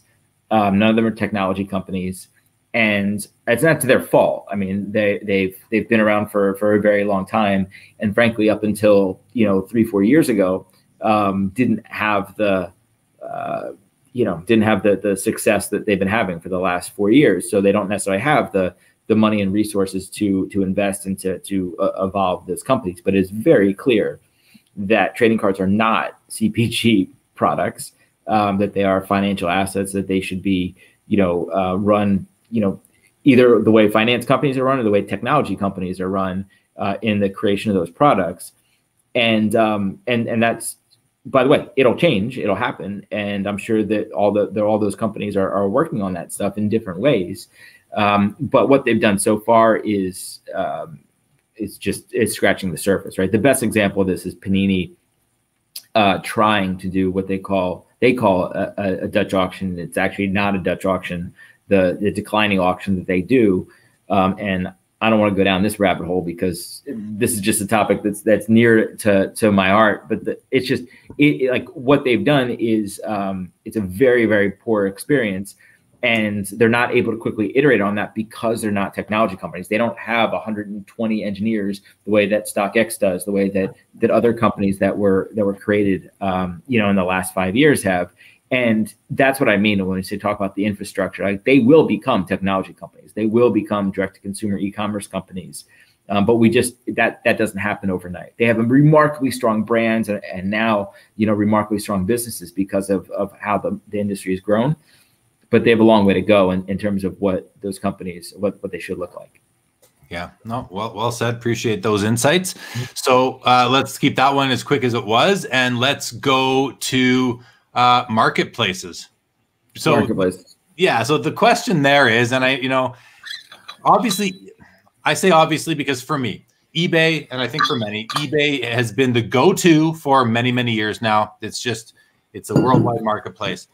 But people have become frustrated with eBay, especially this year. It seems. I mean, you know, a lot of people fondly refer to eBay as FeeBay, but I don't know. I mean, you, you got to pay to play, right? You're you not paying rent in a lot of cases if you're if you're you know unless you're an LCS or whatever. But you know they deserve to earn to make something for their for their efforts as well. Totally. that that that is not the problem with eBay. That no, like no, their fees that that's not the problem. Yeah, it's not the problem. But let's get into what the problems are with the marketplaces and the fact that there's so many more that are now making a push, just like with grading companies. So you know today We've got we've got so many new mark. We've got you know we've got we've got the COMC, we've got the StarStock, we've got we've got the eBay, we got the MySlabs, um, we've got all the even some of these fractionals as well. my question for you: Are there are there too many, and what what do you see as uh, the future with with these things? How, how would you like to see it, and where do you see improvements coming? Yeah, man, uh, this is a massive topic. Let's start with the fact that um, eBay is the leader um, because eBay has the most cards, um, and that is a somewhat circular statement, um, and it can be uh, circular, but the way that you win at marketplace is with liquidity. And uh, and you know this is you know uh, marketplace and and the, the the chicken and the egg of buyers and sellers this is the oldest problem in the history of the internet and the hardest problem in the history of the internet right? Because it's very hard to get buyers if there's no sellers. It's very hard to get sellers if there's no buyers. And so you can only do it in lockstep a couple here a couple here a couple there. Um, and it's why you know not to kind of like toot our own horn but like the the rapid growth of stockx um, why it was um, uh, so impressive is because marketplaces, you know, are, are very hard to, to grow um, very quickly. But for StockX, where we um, obviously started with sneakers, we passed eBay in same shoe sales 11 months into it. I mean, we we flew by them and uh, and never looked back and didn't don't even look at eBay as a competitor anymore. We haven't looked at eBay as a competitor um, in years, and it's because of the model for how sneakers are sold um, is so different than how they're sold on eBay. And the core is using a single product page versus a listing model. And this is this is your like now we're I guess we're in like marketplace 101, but this is the, fundamental uh, sort of two choices in a marketplace. You have a listing based model, which is eBay, which is anyone can go list whatever they want to list. You have a product based model, which is StockX, which is you go to StockX and you want to buy a pair of Air Jordan 3 Black Cement, you want to buy a, a Luka 2018 Prizm PSA 10. There's one page for that product, and everything happens at that one page. You go search for a Jordan 3 Black Cement or a Luka 2018 Prizm on eBay, you'll get thousands of listings.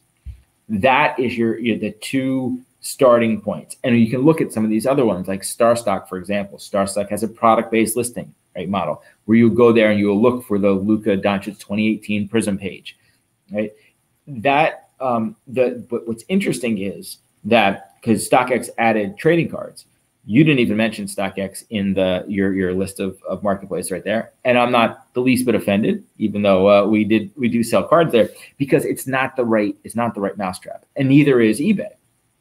I think it's somewhere between. I think that you need a single product page. And I think some of these companies like StarStock, like Alt, are attempting to try to find where do those things uh, uh, meet in the middle because there's not um, there's not a ton of liquidity on any one product in in cards, with the exception of like you know about 10 uh, uh big Prizm cards Luka 2018 Prizm uh, Trae zion ja you know a handful of these guys that have ma- massive pops um, most of them, you don't have more than a couple thousand of any, even, even the, the biggest, you know, pop cards.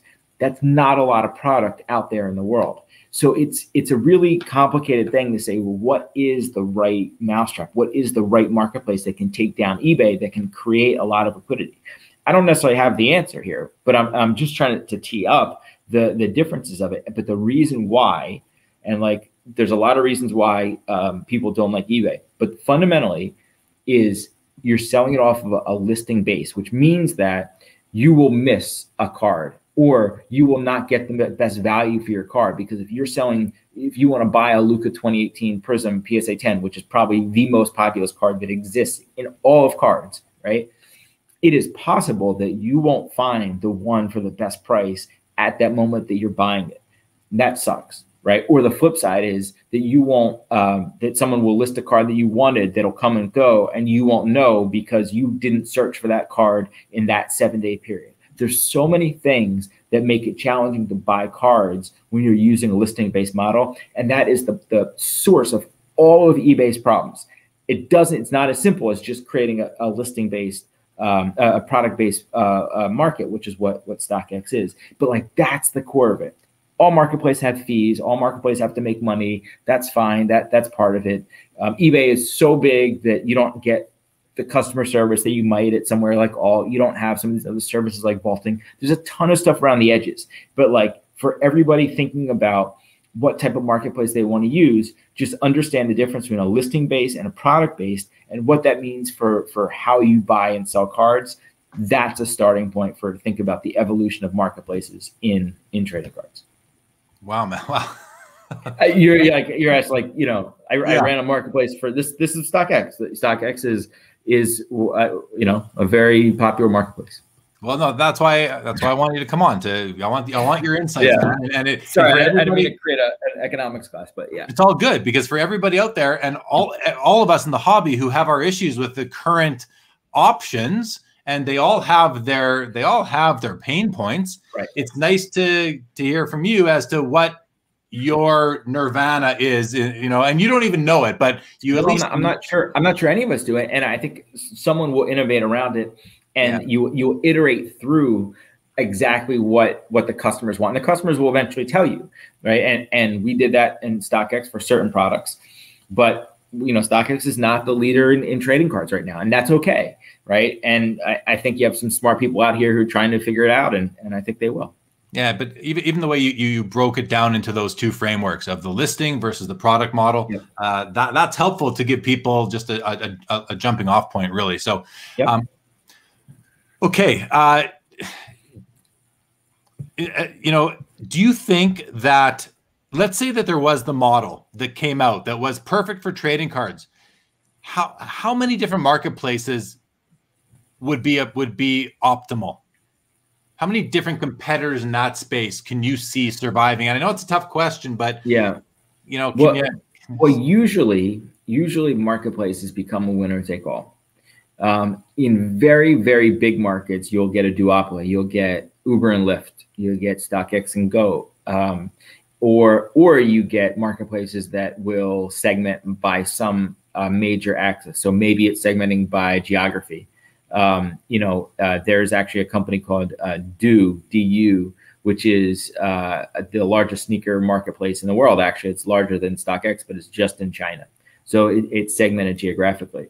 Um, I think what may happen in cards, I think we may end up with two marketplaces, one for wax and one for singles. That's like my gut, just given that they they're they're fundamentally very very different in how they are bought and sold and and the liquidity. Um, how like you know you have to obviously have a um, cards graded to be standardized, but most wax um, it's it's just simpler. There's fewer products. I don't go in deep, but like so like my gut is like long term, and I, I, not even long term, medium term, we end up with um, either eBay remains the king, or you have I think two marketplaces, one that wins for wax and one that wins for uh, because I, I, think they're they're gonna have to fig- figure them out a little bit differently, right? You're gonna have to have something, and I think if they do that right, uh, the focus um, will be the the reason they win, and so you'll you'll have two different like that. That's my gut, but you know, I I, I wouldn't. I, I, there's not one I'd bet on right now, given where they're at. I don't, I don't think that any I've seen like, oh yeah, that's the one that, that's going to win, right? But that there's a lot my, of people trying to figure it out. Yeah. That was my next question. Of of the of all the marketplaces that we currently have, do you see one of them um, evolving or morphing into into one of these two two ultimate champs, if you will? I think you answered that. So I don't. I don't. I, I am curious to see um, the evolution of PSA and Goldin um, because I, uh, it's obvious. It's pretty clear that that um, I mean, if I was if I was PSA, I, I would try to build a marketplace. Like they they control all liquidity for all, but they control the largest liquidity of graded cards at one place at one time, more so than anyone else. And again, like you win marketplaces with liquidity um, and so if I was PSA, I would be thinking about how do I create a marketplace for graded cards. By the way, if I was BBCE, uh, I might be thinking about how do I build a marketplace for wax. Okay, last question on this is in this ultimate format of marketplace, do the cards, the singles, pass through a central location or is it or is it uh, C to C? Is it user to user? So, you know, instead of me shipping my card yeah. on eBay like I do to you, does more of the StockX model is it going to go through a, a, a central, um, uh, you know, authenticator type of thing, or um, I always forget the S uh, like an escrow service type of thing. Yeah, yeah. Well, you're you're hitting on, uh, you know, this is why marketplaces are complicated. I, I laid out the the starting two axes, which are, are product based or listing based.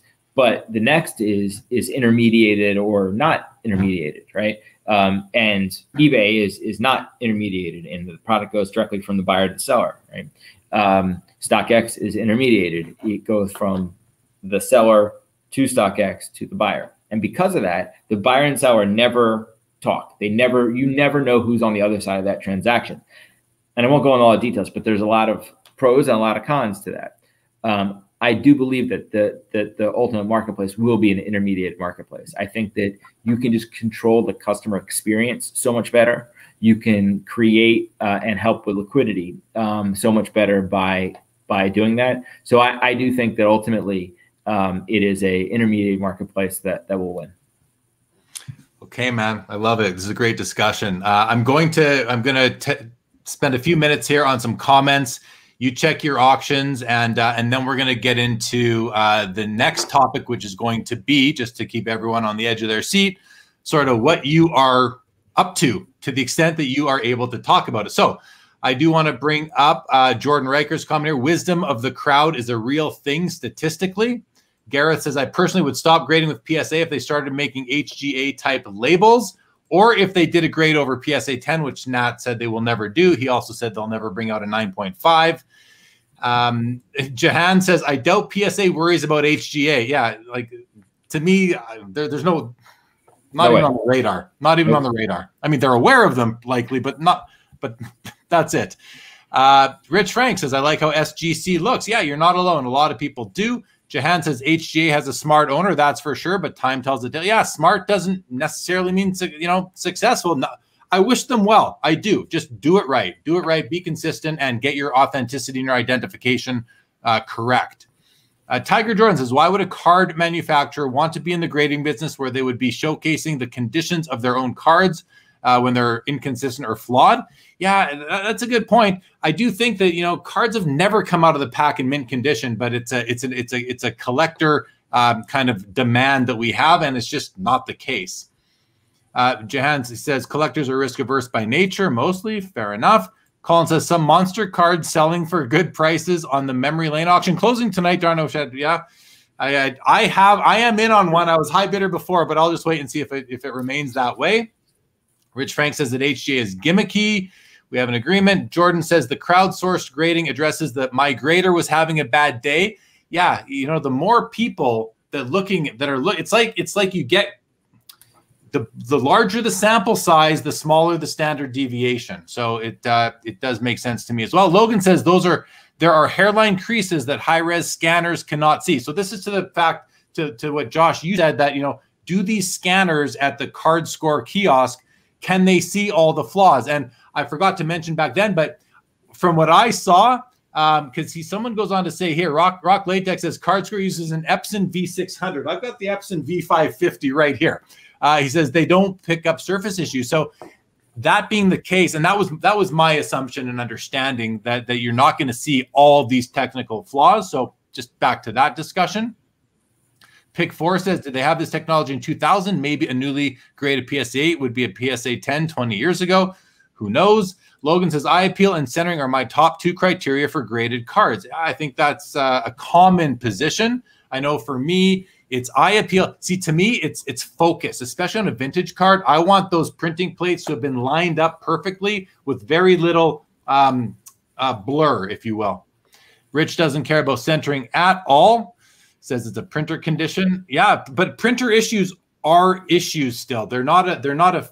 They're not a, a, a they are to me, Rich. They are condition issues, but they're condition issues that came at the printing facility versus being handled. I still consider it, a, uh, for me anyway, a condition issue.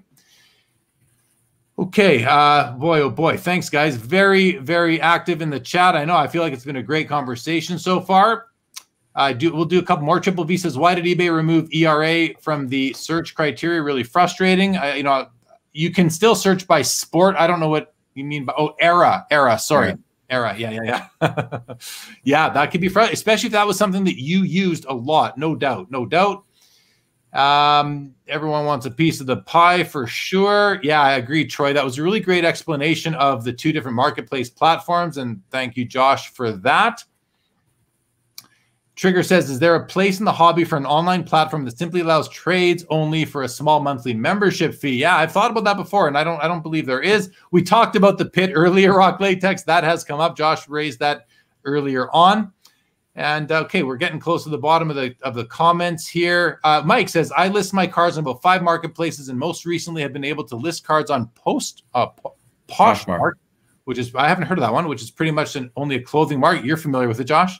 Yeah, yeah. It's like a luxury. It's it's usually focuses on on like women's luxury luxury clothes.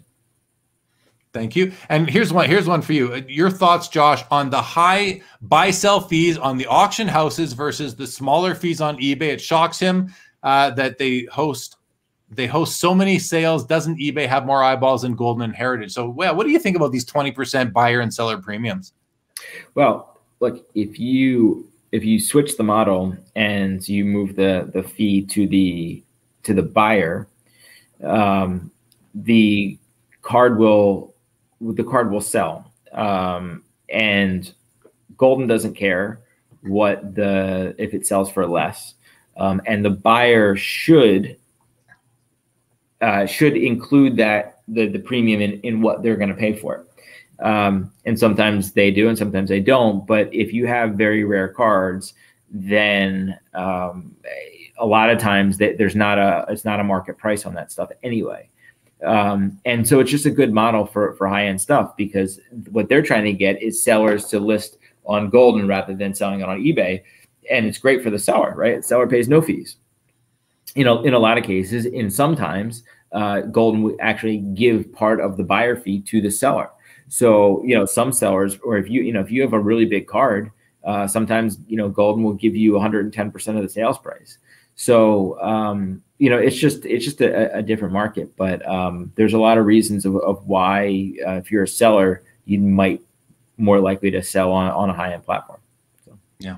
Okay. Good stuff. Uh, Slipco with uh, breaking news: Acuna torn ACL out for the season, and uh, Footloose jumps in with Acuna Matata. Yeah, that's pretty funny. And Brian Gray is now looking to buy them because he'll feel that they'll be at a discount. And you know, to me, I smell you know you you smell a you smell a buying opportunity. Perhaps that's the way that that's just the way our, our hobby works. People uh, very much what have you done for me lately?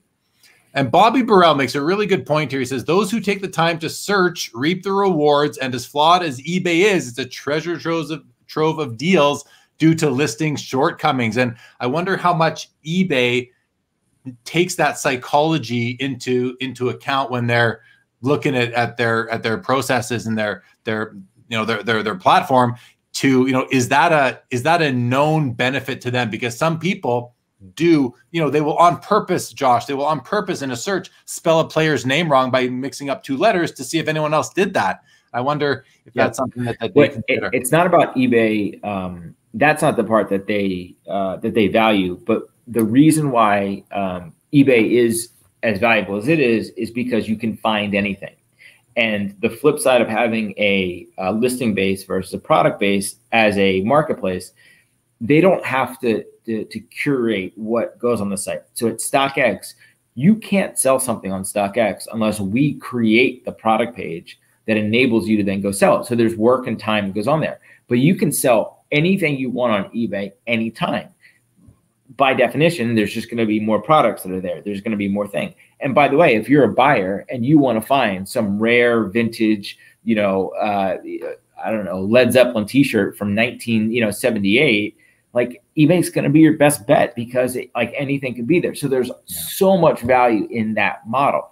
It doesn't necessarily mean that it's good for for other products and it creates inefficiencies in other places. But like that's the value of having a listing base is that anyone can sell whatever they want whenever they want, and there's obviously a lot of value in that. Yeah, for sure. It's like the garage sale sort of, which it, which was I totally. believe it was really a, a, originally sort of meant to be. Oh. Okay, Colin Murray. Good evening. Great to see you, buddy. Uh, and then I want to bring up uh, Brian Gray says, I have a thousand plus Acuna updates. Uh, yeah, and Mike Wick makes the very astute comment. Time to make that 2000, Brian. I, I think I'm sure you're probably going to be looking over the next few days on that. Uh, Smallville with a comment. I haven't read it. He says, "How do you feel about Topps not making the other sports anymore? Would you like them and Upper Deck to get back into those sports? And would you like Panini to make them? Yeah, I, would like to see Topps and Panini make hockey cards. Uh, just selfishly because I like some some of the products that those companies do. I'd also like to see Leaf get a license. I'd like to see more.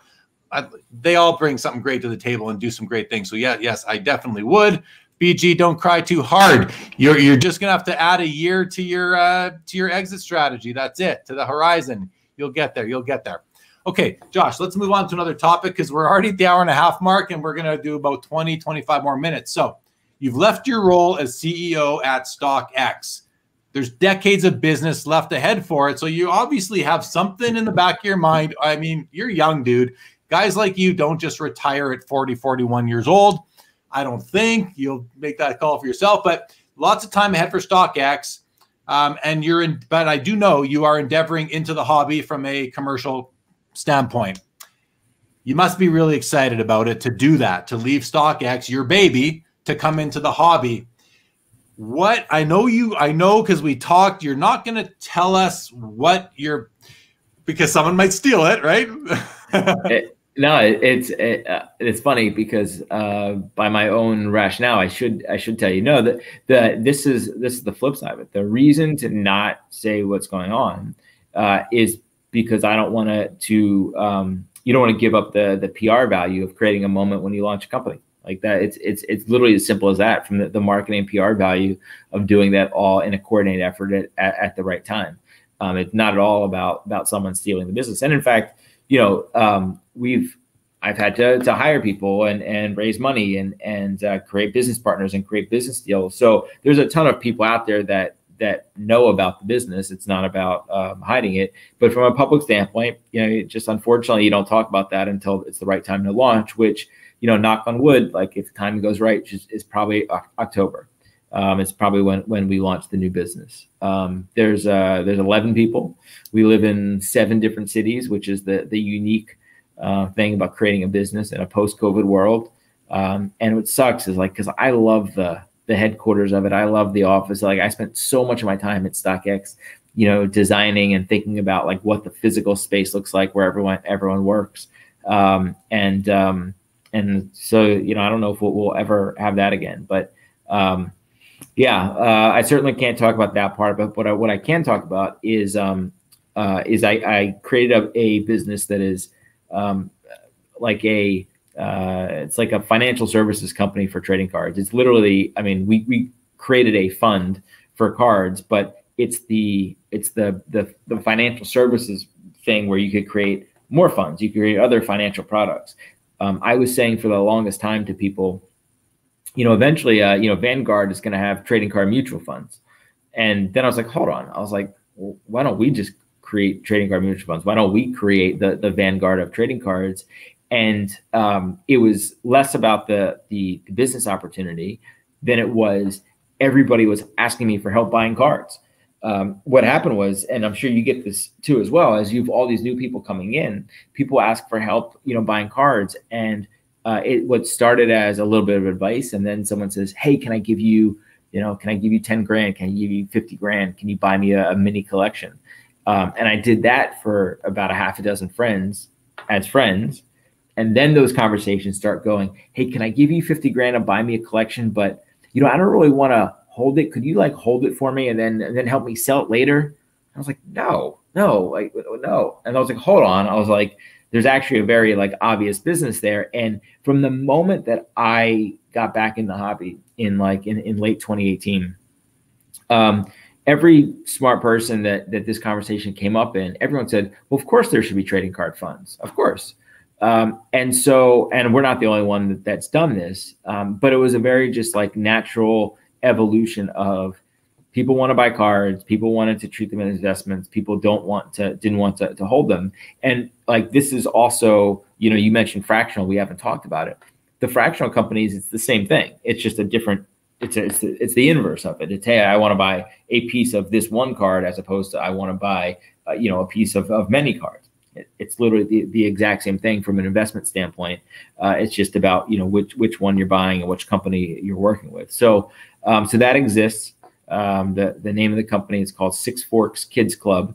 which is um, uh, frankly it, it's it's kind of just I always wanted to name a company Six Forks, um, which is literally that's the only reason. Uh, and then the the team was like, um, okay, um, so it should be like Six Forks, like uh, Capital Asset Management. I was like, no, get the fuck. I was like, no, no. It's like we're not called. No, it's got to be something completely the opposite of that. I was like, it's not going to be like asset managers. And um, and then I was like, you know what? I was like, we all collected cards as kids. You know, we all have kids that collect cards. Did a? It's possible that I'm spending my kids' uh, tuition on cards, so we're calling this Kids Club and uh, and that was the whole story of it. So so that's a business that exists. We can we can check back in October when I when we can talk about the uh, the the other one. But um, but these are the the two focuses for me.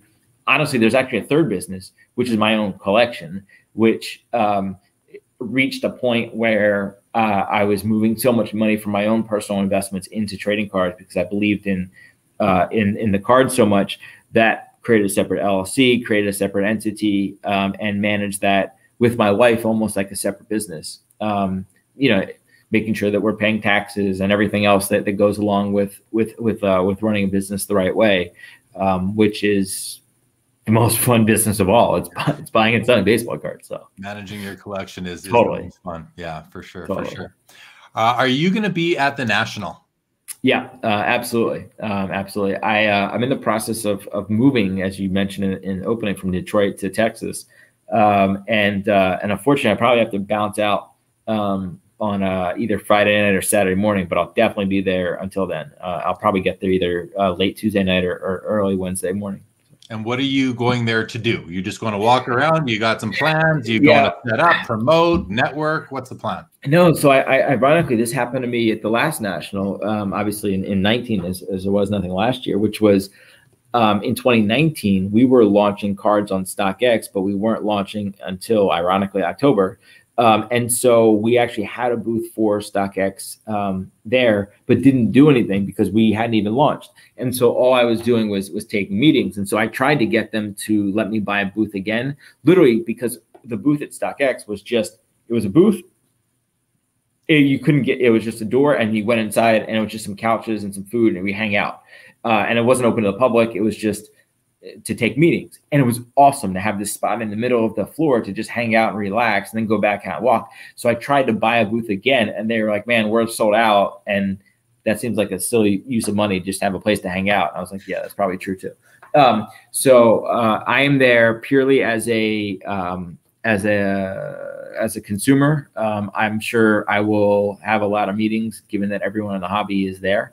Um, but we do not have a booth. We have no marketing activities planned, um, and uh, and I'll be there just buying and bu- not selling, buying a lot of cards, um, and uh, and trying to, to come up with my plan right now of what I want to buy. I I bought. I think I'm done buying Ohtani. Uh, I bought a ton for a long time because uh, I, it was so clear what was going on uh, with him. Um, so I'm trying to figure out what my next uh, what I want to focus on right there. I think I'm losing this auction, by the way. Um, uh, I'm not. I'm not going any farther. I was trying to buy. Um, it's a Brady 2018 Prizm Gold Vinyl, number to five, BGS 9.5. That is at 17,000. I thought I was going to get it for like 10. So. So you're you're, I'm, bowing I'm, out. I'm, I'm bowing out uh, of this one. So yeah.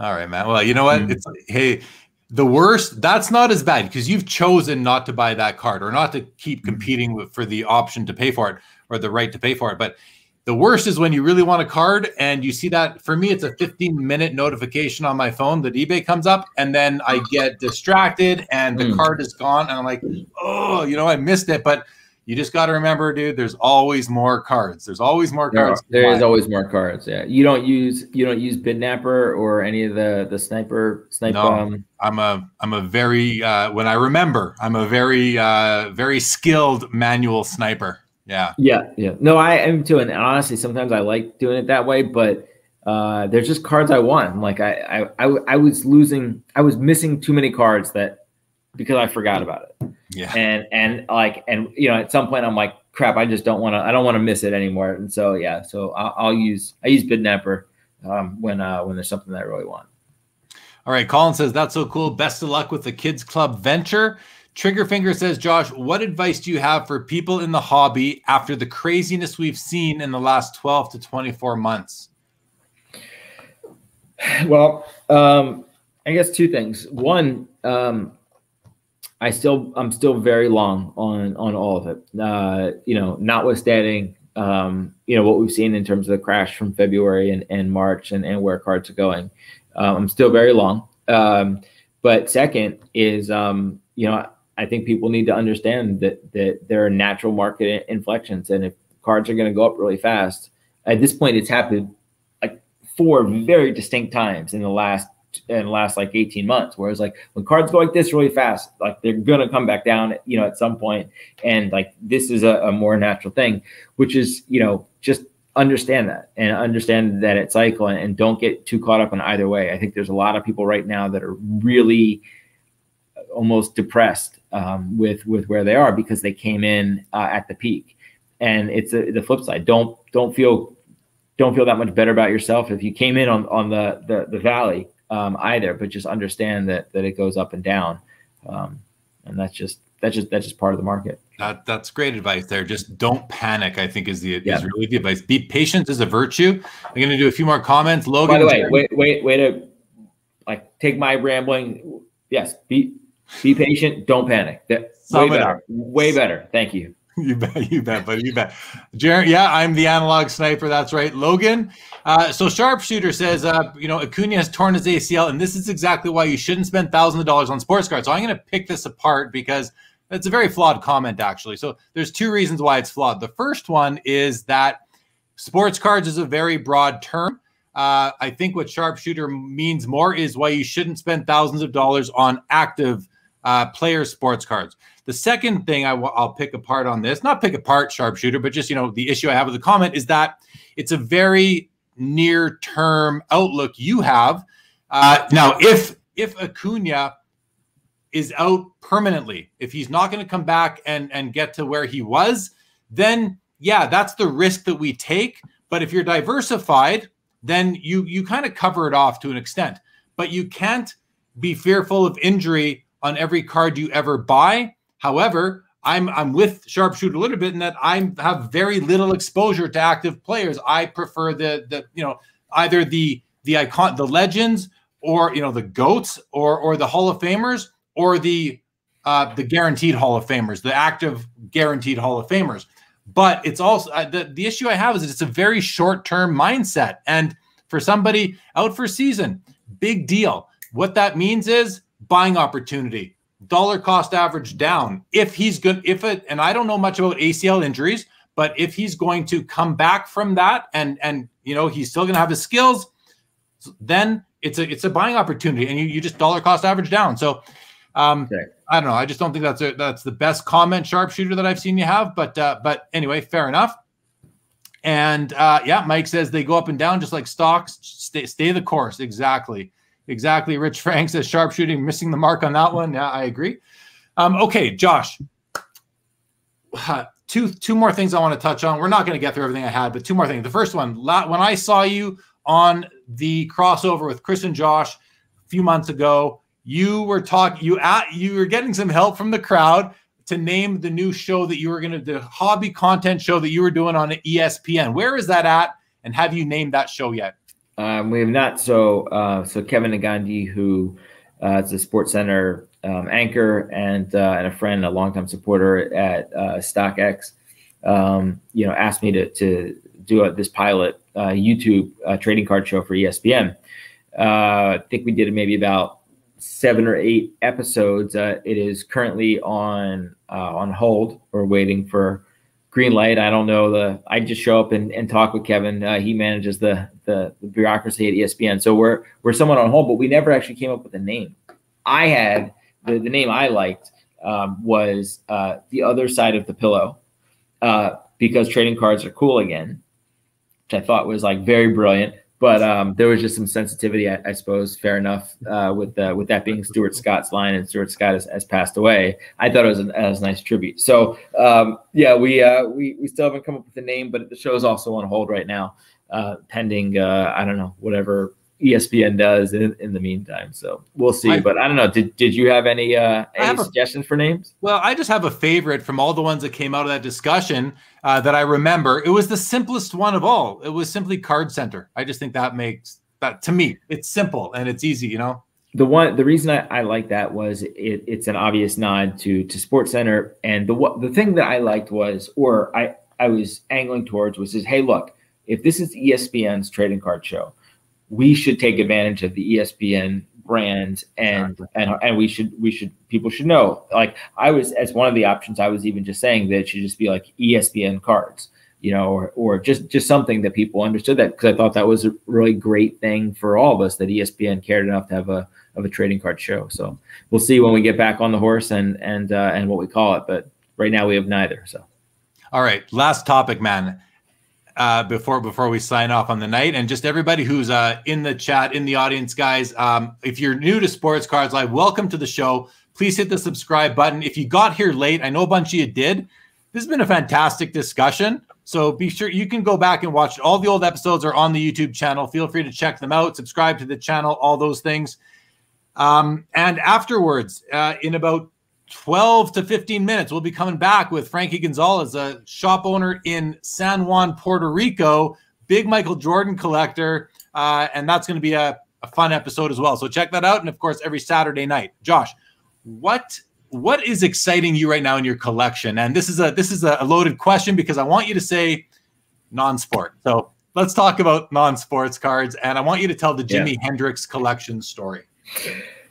Yeah, well, I, will say um, very quickly before uh, non-sport is um, is just oh, Ohtani. I mean, uh, like, and you know, from a, a value standpoint, um, I still think there's a ton of value in, in Ohtani. But I mean, over the last like um, like two months, I've been buying more Ohtani than anything else. But over the last um, you know probably uh, 14 months, um, I've been buying a lot, a lot of non-sport cards. I think at the highest level um, you got to understand that the people um, are as iconic and as important as any athlete ever. When I say the people, I, I mean when you're buying cards of uh, of, of, rock stars or um, uh, or politicians or business people uh, or uh, or artists. Um, and there's never really been a regular series of cards um, around that stuff, but there have been a few cards here or there. Um, you know, more recently in 2011, um, uh, Panini had a, a, trading card set that had a, a, card from Tupac, from Biggie, and, and Snoop in it. In 2009, there's a Kim Kardashian Upper Deck set, uh, Upper Deck card. There's the Joe Rogan UFC announcer card. There's um, there's a Kanye West card from 2011. There's a whole bunch of, of Jay Z cards in 2005 that Topps put into a bunch of Bowman and, and Topps sets that uh, that people are probably aware of of one of the the one of ones that sold at, at Goldin for eighty some thousand dollars. Um, and even the, the best example really is is the the Dwayne Johnson, the Rock University of Miami football card. Obviously, that's a football card, but it's not because of his college football career. It's because the Rock is the most famous actor in the world. Um, and so for me, uh, I've been buying a lot of uh, of all that stuff, including I think that Kim Kardashian card is um, I think that's a, a fifty thousand dollar card at, at, some point. Um, but um, in the '60s and '70s, there was uh, a fair number of uh, different sets that, um, and there were these kind of like one-off sets.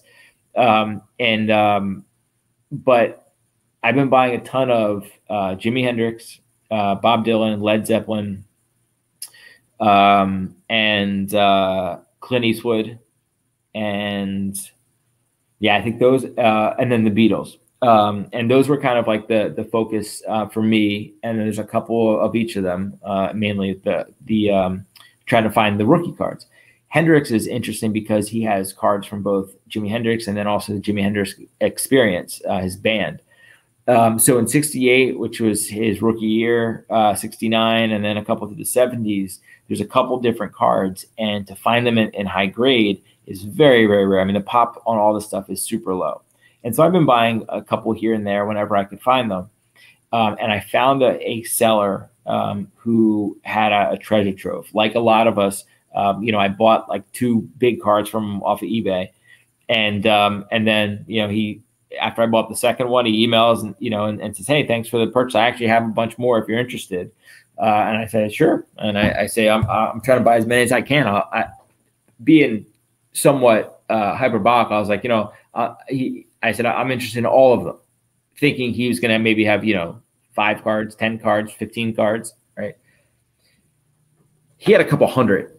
Um, and, uh, and so I was like, all right, uh, let's kind of man up here and figure out what I want to do. Uh, and it ended up being a, uh, a, a big deal. It was a five figure deal and um, but the guy is in Indianapolis and I'm in Detroit, and he wanted uh, cash, and he wanted to meet halfway between Indianapolis and Detroit. And I was like, I'm not driving in the middle of nowhere with a bag of cash.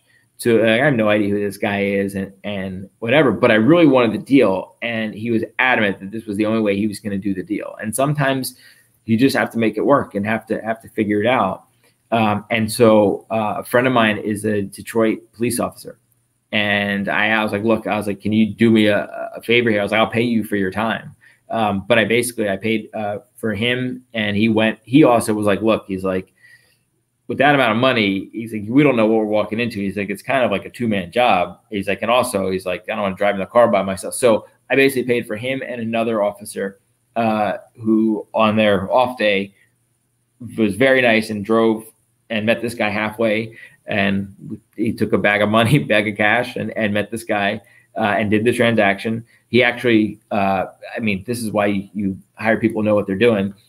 He got the guy's name ahead of time. He ran all information about the guy, found out who he is, his whole background. They, they he he found a police station uh, halfway between Detroit and Indianapolis, and they arranged to meet like in the the um, the parking lot of the police station, like was great. It was done at the highest level of security. Uh, there were no issues whatsoever. The guy got there. My guy gets on a phone. He's showing me all the cards that he's got. I mean, it was awesome. And I don't know, but I think I probably have the largest collection of Jimi Hendrix cards, uh, you know, certainly in high grade uh, that anyone has. And I think that, that is just, I think Jimi Hendrix is as important as any athlete ever. I mean, he's just so, um, so we'll see what the long term value that stuff is. But it's also to me, it's just so cool to have you know these cards and the they those cards. I mean, you've seen a lot of stuff. They look so awesome. Uh, and some of the pictures, and I gotta imagine. I don't know if you know this, the answer to this. I haven't been able to find the answer. I gotta imagine that these weren't licensed. I gotta imagine these are people who are just these companies because a lot of them are these Swedish companies, right? I gotta imagine they were just making the cards. They weren't actually figuring out how to license this stuff, you know, back in the 60s and 70s. But PSA grades them um, and they're super cool. And so I got a whole bunch of, of you know high value, uh, you know Jimi Hendrix, high grade Jimi Hendrix rookies. So yeah, that, that's that's, that's the deal. It's a great story, man. Congrats on the collection. And it doesn't matter if they're licensed or not because they're in uniform. Their names totally. are on them. So who cares? Who cares, right? That's right. Matter. That's right. matter. Yeah. Right. Awesome, man. Awesome. Well, as, as we discussed, I'm a big fan of these old rock cards. I have a, you know, I showed you these the other day. I've got a, a few. Uh, I pulled them out just to show you, but you know, here's my my Beatles cards which I just think are are phenomenal, like a really cool John Lennon right there, and the other ones I have as well. There's the whole band right there. Just just that awesome was great cards, awesome cards.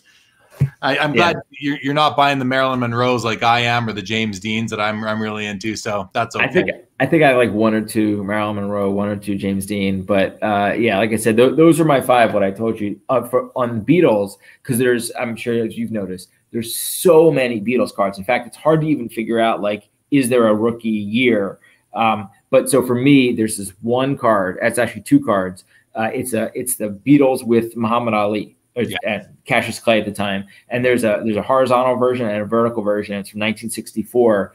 Um, and um, you know, it's from the iconic photos when he's like punching them, and they're all like, you know, like, um, and uh, and I just you know, now I've, I've stopped buying them, but like I was for a while buying everyone I could possibly find. I just think that like it, it's it's it's Muhammad Ali and the Beatles. Like it doesn't get more iconic than that. So. No, I, I agree, man. Like you said, they they transcend their their uh, their their art. You know, just like Absolutely. certain athletes transcend the sport. They they do their cultural phenomenons and global and and the audience for music is as big, if not bigger, than than that totally. of sport. You know, it's the same. It's it really music is uh music music, music is global right? Like basketball yeah. obviously like drives like uh, cards like more so than baseball and football because baseball and football are us only but basketball is global and music is global. So that's what like I, I think that you know, and, and not that that we buy them all as uh, just for the investment part of it, but I think like long term, uh, like non-sport cards and music cards are going to be just an extraordinary investment. I think of all the cards that I've bought over the last year, I think long term, from an appreciation standpoint, that's going to be the highest. Yeah.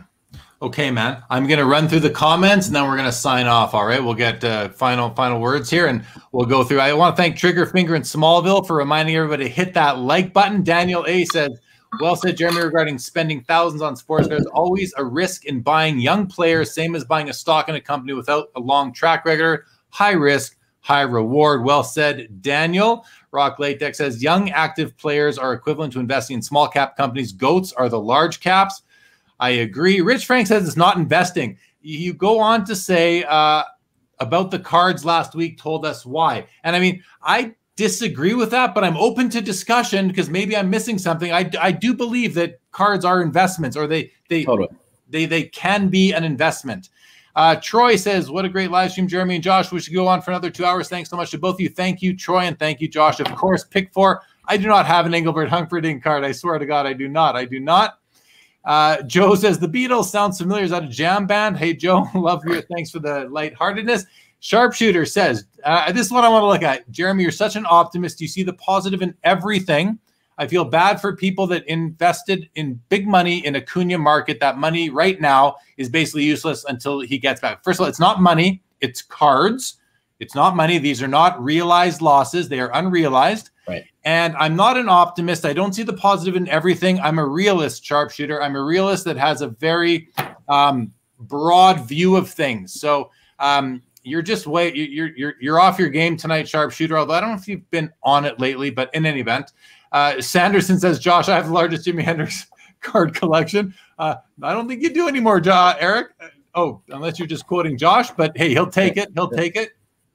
Cherry, welcome, says, so should start StockX start doing their own in-house grading of slab cards so Cassandra Raw not need slabs? We'll keep on running through these. Thank you for the comment, Cherry. Footloose says, if you're a smart investor, next week will be the best time to buy Acuna. I agree. Edition says, speaking music cards, why is there so no company that grades records? So many iconic album artworks that would look amazing in slabs. Hey, there you go. There's a potential idea for sure. Eric says, Josh, I have a large non-sport card collection. Jeremy, hold my beer. There you go. Hey, Keith, you're a collector, Eric. I know you are. Pick four says uh, Johnny Mathis sold over 350. Great card to have. There you go. Yam, I know you're smiling ear to ear when Josh was talking about all the, uh, all, you know, all, all the all those cards that came out. Uh, who do you named a few? I knew I just I knew that Yam was smiling ear to ear. Mm-hmm. That's right up his alley. Rich Frank says I'm buying comics, baseball season in full swing. I don't buy in season. Hey, good strategy if it works for you. Sharpshooter needs a name change.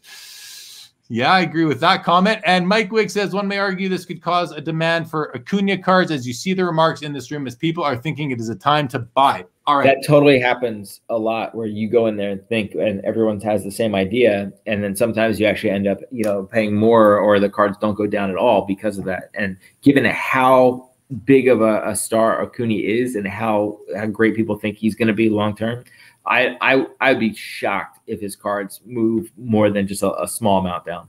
Yeah.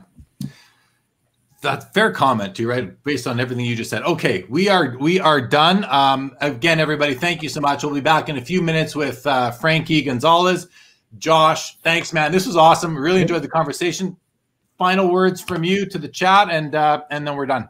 No, I just thank you very much for having me. Um, this is a blast. I, I love the opportunity to go deep into some of these topics. You know, I, I we we deviated into an economics lecture or a marketplace one-on-one lecture for a little bit, but like that's the really interesting thing is to go just a little bit deeper on this stuff because these are they're extraordinarily interesting uh, you know ecosystem of, of what the hobby is as an asset and the businesses around it there's a lot of really cool stuff here so I, I appreciate the opportunity to talk about it so thank you yeah, man. Thanks a lot for coming on tonight, everybody. We'll be back in a few minutes. Josh, hang tight one second. And um, that's the end of the episode, everybody. Thank you so much for